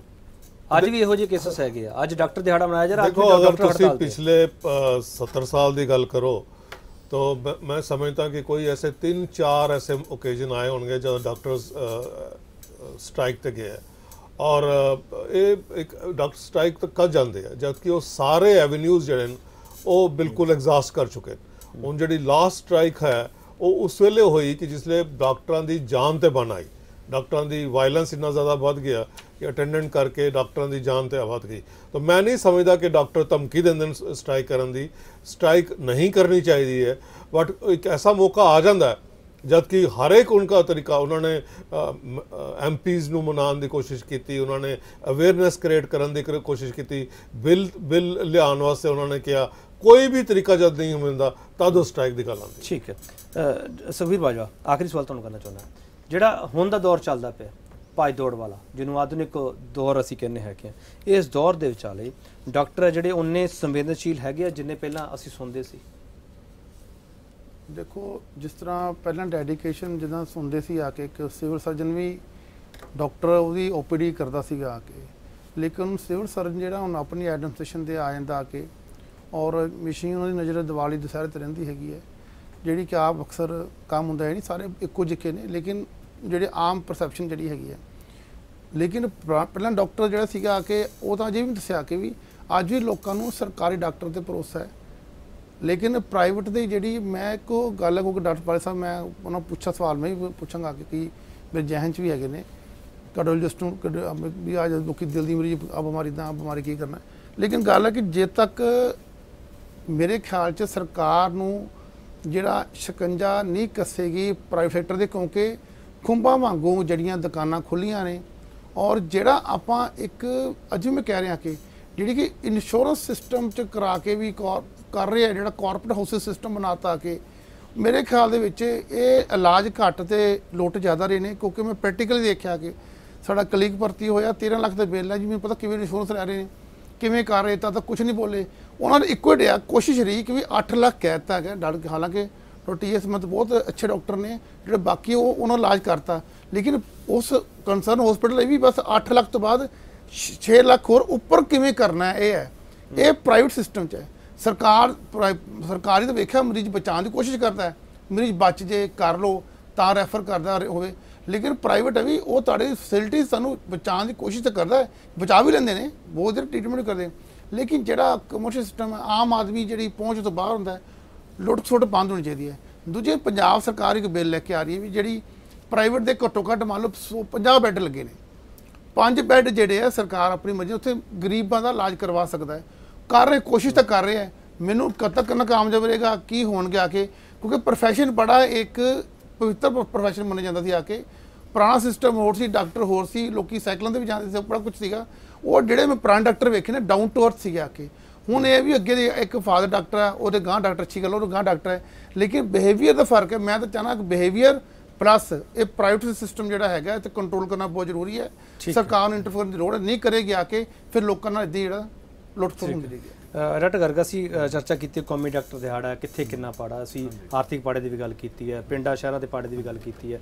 ਸਵਾਲ ਇਹ ਹੈਗਾ ਕਿ ਇੱਕ ਡਾਕਟਰ ਹੋਣ ਦੇ ਨਾਤੇ ਆਪਣੀ ਡਾਕਟਰ ਬਰਾਦਰੀ ਨੂੰ ਕੀ ਸੁਨੇਹਾ ਦੇਣਾ ਚਾਹੋਗੇ ਤੁਸੀਂ ਇਸ ਡਾਕਟਰ ਦਿਹਾੜੇ ਮੌਕੇ? ਤੇ ਸਰਕਾਰ ਨੂੰ ਕੀ ਕਹਿਣਾ ਚਾਹੋਗੇ? ਸੁਨੇਹਾ ਮੈਂ ਸਰਕਾਰ ਨੂੰ ਪਹਿਲਾਂ ਇਹ ਕਹਿਣਾ ਚਾਹੁੰਦਾ ਵੀ ਜਿੰਨਾ ਚਿਰ ਸਾਡਾ ਜਿਹੜਾ ਸਿਸਟਮ ਹੈ ਉਹ ਪੂੰਜੀ ਤੇ ਟੈਕਨੋਲੋਜੀ ਦੇ ਆਧਾਰਿਤ ਹਰੇਕ ਬਿਮਾਰੀ ਦਾ ਛੋਟੀ ਤੋਂ ਛੋਟੀ ਵਾਸਤੇ ਵੀ ਪੂੰਜੀ ਤੇ ਟੈਕਨੋਲੋਜੀ ਦੀ ਗੱਲ ਹੋਏਗੀ ਉਹ ਗਰੀਬ ਆਦਮੀ ਦੇ ਹੱਥ 'ਚੋਂ ਜਾਏਗੀ। ਗਰੀਬ ਨੂੰ ਨਹੀਂ ਮਿਲਣੀ। ਸਾਨੂੰ ਜਿਵੇਂ ਪਹਿਲਾਂ ਵੀ ਬਾਕੀ ਬੁਲਾਰਿਆਂ ਨੇ ਵੀ ਕਿਹਾ ਪੈਨਲਿਸਟ ਨੇ ਕਿ ਸਾਨੂੰ ਇੱਕ ਰੈਫਰਲ ਸਿਸਟਮ ਇੱਕ ਇਸ ਤਰੀਕੇ ਦਾ ਬਣਾਵੇ ਇੰਨੀ ਕੁ ਬਿਮਾਰੀ ਦਾ ਇਲਾਜ ਇੱਥੇ ਤੱਕ ਹੋ ਜਾਏਗਾ ਇੰਨੀ ਕੁ ਦਾ ਇੱਥੇ ਤੱਕ। ਫਿਰ ਅਸੀਂ ਜਿਹੜੀ ਸੁਪਰ ਸਫਿਸਟੀਕੇਟਡ ਟੈਕਨੋਲੋਜੀ ਹੈ ਉਹ ਗਿਨੇ ਚੁਣੇ ਸਾਨੂੰ fix ਕਰਨੀਆਂ ਪੈਣਗੀਆਂ ਚੀਜ਼ਾਂ। ਫਿਕਸ ਕਰਨੇ ਦੂਜਾ। ਦੂਜਾ ਇਹ ਹੈ ਸਾਨੂੰ ਐਡਮਿਨਿਸਟ੍ਰੇਟਿਵ ਇਹਦੀ ਕਈ ਗੱਲਾਂ ਨੇ। ਸਾਨੂੰ ਐਡਮਿਨਿਸਟ੍ਰੇਟਿਵ ਕੰਟਰੋਲ ਇਸ ਤਰ੍ਹਾਂ ਦੇ ਕਰਨੇ ਪੈਣਗੇ ਕਿ ਡੇ ਟੂ ਡੇ ਦਖਲਅੰਦਾਜ਼ੀ ਨਹੀਂ ਕਰਨੀ ਵੀ ਆ ਮਰੀਜ਼ ਕਿਉਂ ਨਹੀਂ ਦੇਖਿਆ ਇਹ ਮਰੀਜ਼ ਨੂੰ ਇੱਥੇ ਕਿਉਂ ਪਾਇਆ ਇਹ ਜਿਹੜੀ ਦਖਲਅੰਦਾਜ਼ੀ ਵੀ ਮੇਰੇ ਨੂੰ ਪਹਿਲਾਂ ਦੇਖ ਦਿਓ 25 ਦੀ 26 ਬਣਾ ਦਿਓ ਜਿੱਥੇ ਸਰਕਾਰੀ ਨੇ। ਇਹ ਬੰਦ ਕਰਨੀ ਪਏਗੀ। ਹਾਂ ਜੇ ਕੋਈ ਡਾਕਟਰ ਨਹੀਂ ਕੰਮ ਕਰਦਾ ਉਹਨੂੰ ਦਿਓ ਸਜ਼ਾ ਜਿਹੜੀ ਦੇਣੀ ਹੈ। ਉਹਦਾ ਰਾਈਟ ਡਿਊਟੀ ਹੈ ਤੀਜੀ ਗੱਲ ਜਿਹੜਾ ਤੁਸੀਂ ਕਹਿੰਦੇ ਸੰਵੇਦਨਸ਼ੀਲ ਹੁਣ ਡਾਕਟਰ ਜਿਹੜੇ ਸੰਵੇਦਨਸ਼ੀਲ ਤਾਂ ਤਾਂ ਉਹ ਤਾਂ ਆਉਂਦਾ 2 ਕਰੋੜ ਰੁਪਏ ਖਰਚ ਕੇ ਅਮੀਰ ਘਰ ਚੋਂ। ਉਹ ਉਹਨੂੰ ਦੂਜੇ ਮਰੀਜ਼ ਤੋਂ ਤਾਂ ਬਹੁਤ ਮਾਰਦੀ ਹੈ ਇੱਥੇ ਮੇਰੇ ਸਾਹਮਣੇ ਗੱਲ ਹੋਈ। ਇੱਕ ਬੇਨਤੀ ਕਰਾਂਗਾ ਮੈਂ। ਪੀਸੀਐਮਐਸ ਦੇ ਵਿੱਚ ਡਾਕਟਰ ਭਰਤੀ ਹੁੰਦੇ ਨੇ। ਤੇ ਉਹ ਭਰਤੀ ਤਾਂ ਹੁੰਦੇ ਨੇ ਇਸ ਕਰਕੇ ਕਿ ਪੀਜੀ ਮਿਲ ਜਾਂਦੀ ਹੈ ਰਿਜ਼ਰਵ ਕੋਟੇ 'ਚ ਮਤਲਬ ਯਾਨੀ ਕਿ ਪੀਸੀਐਮਐਸ ਦਾ ਕੋਟਾ ਠੀਕ, ਠੀਕ ਹੈ, 60% ਠੀਕ ਹੈ। ਉਹ ਕਹਿਣ ਅਸੀਂ ਪਿੰਡਾਂ 'ਚ ਆਪਣੀ ਜ਼ਿੰਦਗੀ ਖਰਾਬ ਕਰਦੇ ਹਾਂ ਮੈਂ ਕਿਹਾ ਤੈਨੂੰ ਕਿਹਨੇ ਕਿਹਾ ਵੀ ਜ਼ਿੰਦਗੀ ਖਰਾਬ ਕਰ? ਹੁਣੀ ਰਿਜ਼ਾਈਨ ਕਰ। ਤੂੰ ਜ਼ਿੰਦਗੀ ਜ਼ਿੰਦਗੀ ਕੋਈ ਨਹੀਂ ਖਰਾਬ ਕਰਨਾ ਤੂੰ ਪੀਜੀ ਲੈਣਾ ਹੈ ਹੁਣ ਜੇ ਇਹ ਜਿਹਾ ਐਟੀਟਿਊਡ ਕਿਹਦਾ ਹੈ? ਇਹ ਜਿਹਾ ਐਟੀਟਿਊਡ ਹੈ ਜਿਹੜਾ ਬਿਜ਼ਨਸ ਟਾਈਪ 'ਚ ਆਇਆ ਉਹ ਬੰਦਾ ਡਾਕਟਰ ਬਣ ਕੇ ਨਹੀਂ ਆਇਆ। ਤੇ ਮੈਂ ਉਹਨਾਂ ਨੂੰ ਕਈ ਵਾਰ ਕਹਿੰਦਾ ਵੀ ਹਾਂ ਵੀ ਯਾਰ ਤੁਸੀਂ ਜੇ ਡਾਕਟਰ ਬਣ ਕੇ ਆਏ ਪੈਸਿਆਂ ਦੇ ਪਿੱਛੇ ਭੇਜਣਾ ਫਿਰ ਤੁਸੀਂ ਕੱਪੜੇ ਦੀ ਦੁਕਾਨ ਖੋਲ ਲੈਂਦੇ। ਤੁਸੀਂ ਨੀਲੇ ਕੱਪੜੇ ਦੇ ਉੱਤੇ ਪੀਲਾ ਬੱਲਬ ਲਾ ਕੇ ਉਹ ਹਰਾ ਦਿਖੀ ਜਾਏਗਾ। ਕਿਸ ਨੂੰ ਪਤਾ ਹੀ ਨਹੀਂ ਕੀ ਰੇਟ ਆ ਕੀ ਨਹੀਂ। ਸੋ ਇਸ ਕਰਕੇ ਡਾਕਟਰੀ ਦੇ ਜਿਹੜੀਆਂ ਸਮੱਸਿਆਵਾਂ ਨੇ ਉਹਦੇ ਵਿੱਚ ਐਡਮਿਨਿਸਟ੍ਰੇਟਿਵ ਫਾਈਨੈਂਸ਼ੀਅਲ ਮੈਨੇਜਮੈਂਟ ਇਹ ਸਾਰਾ ਕੁਝ ਸ਼ਾਮਲ ਹੈ ਪਰ ਕਾਰਪੋਰੇਟ ਹਸਪਤਾਲਾਂ ਦੇ ਉੱਤੇ ਇੱਕ ਸਕੰਜਾ ਕੱਸਣਾ ਜ਼ਰੂਰੀ ਹੈ। ਜਿੰਨਾ ਚਿਰ ਉਹ ਕਾਰਪੋਰੇਟ ਹਸਪਤਾਲਾਂ ਦੇ ਤੁਹਾਨੂੰ ਉਹਦੇ ਖਰਚੇ ਨੇ ਉਹ ਸਾਰਾ ਜਸਟੀਫਿਕੇਸ਼ਨ ਨਾਲ ਨਹੀਂ ਹੁੰਦਾ। ਤੁਸੀਂ ਉਹ ਖੁੱਲ੍ਹ ਛੱਡ ਰੱਖਿਆ। ਵੀ ਜਿੰਨਾ ਮਰਜ਼ੀ ਲਾ ਲਓ ਹੈ। ਜਿੰਨੇ ਮਰਜ਼ੀ ਲਾ ਦਿਓ ਇਹ ਕੋਈ ਤੌਰ ਤਰੀਕਾ ਨਹੀਂ। ਹਰ ਜਿਹੜਾ ਕੇਸ ਹੈ ਜਿਵੇਂ ਬਾਜਵਾ ਜੀ ਨੇ ਹੁਣ ਐਗਜ਼ਾਮਪਲ ਦਿੱਤੀ 13 ਲੱਖ ਦੀ। ਇੱਕ ਸਰਟਨ ਲੈਵਲ ਤੋਂ ਵੱਧ ਪੈਕੇਜ ਤੋਂ ਵੱਧ ਜਿਹਦਾ ਖਰਚਾ ਹੁੰਦਾ ਹੈ। ਜੇ ਪੈਕੇਜ 2 ਲੱਖ ਦਾ ਹੈ ਜੇ ਉਹਦਾ 4 ਲੱਖ ਤੋਂ ਵੱਧ ਖਰਚਾ ਹੋਇਆ ਉਸੇ ਬਿਮਾਰੀ 'ਚ ਉਹਦੇ ਉੱਤੇ ਮੈਡੀਕਲ ਆਡਿਟ ਹੋਣਾ ਜ਼ਰੂਰੀ ਹੈ। ਇਹ ਸਰਕਾਰੀ ਹਸਪਤਾਲਾਂ ਦਾ ਵੀ ਹੋਏ ਕਿ ਇਹ ਪ੍ਰਾਈਵੇਟ ਮੈਂ ਗੱਲ ਕਰ ਮੈਡੀਕਲ ਆਡਿਟ ਤੋਂ ਬਿਨਾਂ ਕੰਮ ਨਹੀਂ ਗੱਲ ਕੀਤੀ ਹੈ ਦੋ ਬੜੇ ਤਿੰਨ ਸੀਨੀਅਰ ਡਾਕਟਰ ਬੈਠੇ ਨੇ ਇਹ ਤਿੰਨ ਆਪਾਂ ਪੈਨਲ ਬੈਠੇ ਆ ਤੇ ਹੱਲ ਮਸਲਾ ਨਿਕਲਦਾ ਪਿਆ ਕੇ। ਉਹ ਉਹਨਾਂ ਨੇ ਅੱਛੀ ਗੱਲ ਕੀਤੀ ਵੀ ਇਸ ਤਰ੍ਹਾਂ ਹੋਣਾ ਚਾਹੀਦਾ ਵੀ ਉਹ ਬਰ ਸਾਹਿਬ ਆਪਣੀ ਗੱਲ ਕੀਤੀ ਹੈ। ਤੇ ਮੈਂ ਕਹਿੰਦਾ ਇੰਨਾ ਵੱਡਾ ਮੈਕਨਿਜ਼ਮ ਉਹਨਾਂ ਨੂੰ ਨਜ਼ਰ ਨਹੀਂ ਆਉਂਦਾ ਕਿ। ਸਿਸਟਮ 'ਚ। ਇਹ ਬਿਲਕੁਲ ਬਿਲਕੁਲ। ਸਰਕਾਰ ਨੂੰ ਨਜ਼ਰ ਤਾਂ ਸਭ ਕੁਝ ਹੁੰਦਾ ਸਰਕਾਰ ਕਰਦੀ ਕੀ ਡਾਕਟਰ ਵਾਲੀ ਲਾਸਟ ਮਿੰਟ ਤੁਹਾਡੇ। ਡਾਕਟਰ ਵਾਲੀ ਸਵਾਲ ਇਹ ਹੈ ਕਿ ਸਰਕਾਰ ਨੇ ਵੀ ਤੁਹਾਨੂੰ ਵਧਾਈਆਂ ਦਿੱਤੀਆਂ ਡਾਕਟਰ ਡੇ ਤੇ। ਵਧਾਈਆਂ ਕਬੂਲ ਹੈ ਸਰਕਾਰ ਦੀਆਂ ਜਾਂ ਸਰਕਾਰ ਨੂੰ ਕੋਈ ਸਲਾਹ ਦੇਣੀ ਹੈ? ਨਹੀਂ ਸਲਾਹ ਮੈਂ ਇਹੋ ਦਿੱਤੀ ਹੈ ਜੋ ਮੈਂ ਪਹਿਲੇ ਕਿਹਾ ਹੈ ਕਿ ਜ਼ਿਆਦਾ ਜੀਡੀਪੀ ਦਾ ਜਿਹੜਾ ਪਾਰਟ ਹੈ ਉਹ ਹੈਲਥ ਤੇ ਸਪੈਂਡ ਕਰੋ। ਇਨਫਰਾਸਟ੍ਰਕਚਰ ਨੂੰ ਡਿਵੈਲਪ ਕੀਤਾ ਜਾਏ ਔਰ ਇੱਕ ਰੈਫਰਲ ਸਿਸਟਮ ਬਣਾਇਆ ਜਾਏ। ਮੈਂ ਇਹੋ ਇਹੋ ਸਿਸਟਮ ਕਹਾਂਗਾ। ਔਰ ਇੱਕ ਕੰਟਰੋਲ ਹੋਣਾ ਚਾਹੀਦਾ ਹਰ ਇੱਕ ਸਰਵਿਸ ਤੇ। ਹਰ ਇੱਕ ਟ੍ਰੀਟਮੈਂਟ ਆਪਸ਼ਨ ਤੇ ਕਿ ਕਿੰਨਾ ਖਰਚੇ ਨਾਲ ਬਿਮਾਰੀ ਦਾ ਇਲਾਜ ਹੋ ਜਾਏਗਾ। ਠੀਕ ਹੈ, ਡਾਕਟਰ ਇੱਕ ਸਾਹਿਬ। ਕੈਪ ਕਰਨ ਦੀ ਜ਼ਰੂਰਤ ਹੈ। ਠੀਕ ਹੈ ਡਾਕਟਰ ਸਾਹਿਬ ਲਾਸਟ ਮਿੰਟ ਤੁਹਾਡੇ। ਸਰ ਬਸ ਲਾਸਟ ਮੈਸੇਜ ਮੈਂ ਦੇਣਾ ਇਹ ਚਾਹੂੰਗਾ ਕਿ ਵੀ ਮਰੀਜ਼ ਔਰ ਜਿਹੜਾ ਡਾਕਟਰ ਦੇ ਵਿੱਚ ਸੰਬੰਧ ਹੈ ਜਿਹੜਾ ਰਿਸ਼ਤਾ ਹੈ ਉਹਦੇ ਵਿੱਚ ਸਿਆਸਤ ਵੜਿਆ ਹੀ ਹੈ। ਹੂੰ। ਬਸ ਜੇ ਸਿਆਸਤ ਕੱਢ ਜੀਏ ਤੇ ਉਹ ਰਿਸ਼ਤਾ ਬਹੁਤ ਫਿਰ ਬਣ ਇੰਪੋਰਟੈਂਟ ਹੈ ਇਹ ਬਹੁਤ ਇੰਪੋਰਟੈਂਟ ਹੈ। ਇਸੇ ਕਰਕੇ ਮੈਂ ਸਿਆਸਤ ਨੂੰ ਸੱਦਿਆ ਨਹੀਂ ਅੱਜ। ਹਾਂ ਡਾਕਟਰ ਮੈਂ ਇੱਕੋ ਗੱਲ ਕਹਿਣੀ ਹੈ ਹਾਂ। ਵੀ ਜੇ ਡਾਕਟਰ ਤੇ ਮਰੀਜ਼ ਦਾ ਰਿਸ਼ਤਾ ਜਿਵੇਂ ਤਿੜਕ ਰਿਹਾ ਹੈ ਉਹ ਤਿੜਕ ਦਾ ਰਿਸ਼ਤਾ ਅਮੀਰ ਨੂੰ ਕੋਈ ਫ਼ਰਕ ਨਹੀਂ ਪੈਣਾ। ਉਹ ਕਿਸੇ ਨਾ ਕਿਸੇ ਹਸਪਤਾਲ ਜਾ ਰਹੂ ਜਿਹੜਾ ਕਾਮਨ ਮੈਨ ਹੈ ਜਿੱਦੇ ਪੀਜੀਆਈ ਤੋਂ ਫੇਸ ਖਤਮ ਹੋ ਗਿਆ 32 ਸੈਕਟਰ ਚੋਂ 16 ਸੈਕਟਰ ਚੋਂ ਮੁਹਾਲੀ ਚੋਂ ਰਾਜਪੁਰੇ ਚੋਂ ਬਨੂੜ ਚੋਂ ਫੇਸ ਖਤਮ ਹੋ ਗਿਆ। ਵਿੱਚ ਤਾਂ ਡਾਕਟਰ ਕੁਝ ਨਹੀਂ ਕਰਦੇ। ਉਦੋਂ ਜਿਹੜਾ ਗਰੀਬ ਆਦਮੀ ਉਹਨੇ ਫੋਰਟਿਸ ਤਾਂ ਜਾ ਨਹੀਂ ਸਕਣਾ। ਉਹਨੇ ਮੈਕਸ 'ਚ ਜਾ ਨਹੀਂ ਸਕਣਾ। ਉਹ ਬੰਦੇ ਨੂੰ ਜਿਹੜੀ ਮਾੜੀ ਮੋਟੀ ਸਕਲਟਨ ਸਰਵਿਸ ਮਿਲਦੀ ਆ ਉਹ ਵੀ ਫੇਲ ਹੋ ਜਾਏਗੀ। ਇੱਕ ਫੇਥ ਨਾ ਖਤਮ ਹੋਣ ਦੇਣ ਦੂਜੀ ਕੋਲ ਸਰਵਿਸ ਨੂੰ ਇੰਪਰੂਵ ਕਰਨ ਤਾਂ ਕਿ ਬੰਦੇ ਨੂੰ ਲੱਗੇ ਯਾਰ ਮੈਂ ਇੱਥੇ ਥਾਣੇ 'ਚ ਨਹੀਂ ਆਇਆ ਮੈਂ ਇੱਥੇ ਹਸਪਤਾਲ 'ਚ ਆਇਆ। ਡਰ ਦਾ ਮਾਹੌਲ ਖਤਮ ਹੋ ਗਿਆ। ਬਹੁਤ ਬਹੁਤ ਧੰਨਵਾਦ ਡਾਕਟਰ ਗਰਗ ਤੁਹਾਡਾ ਡਾਕਟਰ ਬਾਲੀ ਤੁਹਾਡਾ ਬਹੁਤ ਧੰਨਵਾਦ। ਡਾਕਟਰ ਥਾਮੀ ਤੁਹਾਡਾ ਬਹੁਤ ਧੰਨਵਾਦ। ਸੁਖਵੀਰ ਬਾਜਵਾ ਤੁਹਾਡਾ ਬਹੁਤ ਧੰਨਵਾਦ। ਅਸੀਂ ਕੋਸ਼ਿਸ਼ ਕੀਤੀ ਹੈ ਕਿ ਕੌਮੀ ਡਾਕਟਰ ਦਿਹਾੜੇ ਤੇ ਸੰਜੀਦਾ ਚਰਚਾ ਕੀਤੀ ਜਾਵੇ। ਸਮਝ ਆਵੇ ਕਿ ਹੋ ਕੀ ਰਿਹਾ ਸਾਡੇ ਸਿਸਟਮ ਦੇ ਵਿੱਚ। ਖਾਮੀਆਂ ਹੈ ਕਿ ਉਹਨਾਂ ਖਾਮੀਆਂ ਨੂੰ ਸੁਧਾਰਨ ਦੀ ਜ਼ਰੂਰਤ ਹੈਗੀ ਹੈ। ਇਹ ਡਾਕਟਰ ਦਿਹਾੜੇ ਮਨਾਉਣੇ ਇੱਕ ਪਰੰਪਰਾ ਹੈ ਕਿ ਹੈ ਰਸਮ ਹੈ ਕਿ ਹੈ ਮਨਾਉਣੇ ਚਾਹੀਦੇ ਹੈ ਕਿ ਹੈ। ਪਰ ਡਾਕਟਰ ਦਿਹਾੜੇ ਜੇ ਮਨਾ ਰਹੇ ਹਾਂ ਅਸੀਂ ਡਾਕਟਰ ਤੇ ਮਰੀਜ਼ ਦੇ ਵਿਚਾਲੇ ਵਾਧਾ ਪਾੜਾ ਉਹ ਚਿੰਤਾ ਦਾ ਵਿਸ਼ਾ ਸਰਕਾਰੀ ਸਿਸਟਮ ਦੇ ਵਿਚਾਲੇ ਇਸ ਡਾਕਟਰੀ ਖਿੱਤੇ ਨੂੰ ਕਾਰੋਬਾਰ ਬਣਾਉਣਾ ਉਹ ਵੀ ਚਿੰਤਾ ਦਾ ਵਿਸ਼ਾ ਹੈਗਾ। ਜੇ ਚਿੰਤਾ ਦੇ ਵਿਸ਼ੇ ਇਹ ਖਤਮ ਹੋਣਗੇ, ਤਾਂ ਹੀ ਇਹ ਡਾਕਟਰ ਦਿਹਾੜੇ ਮਨਾਉਣੇ ਸਾਰਥਕ ਹੋ ਸਕਣਗੇ। ਬਹੁਤ ਧੰਨਵਾਦ।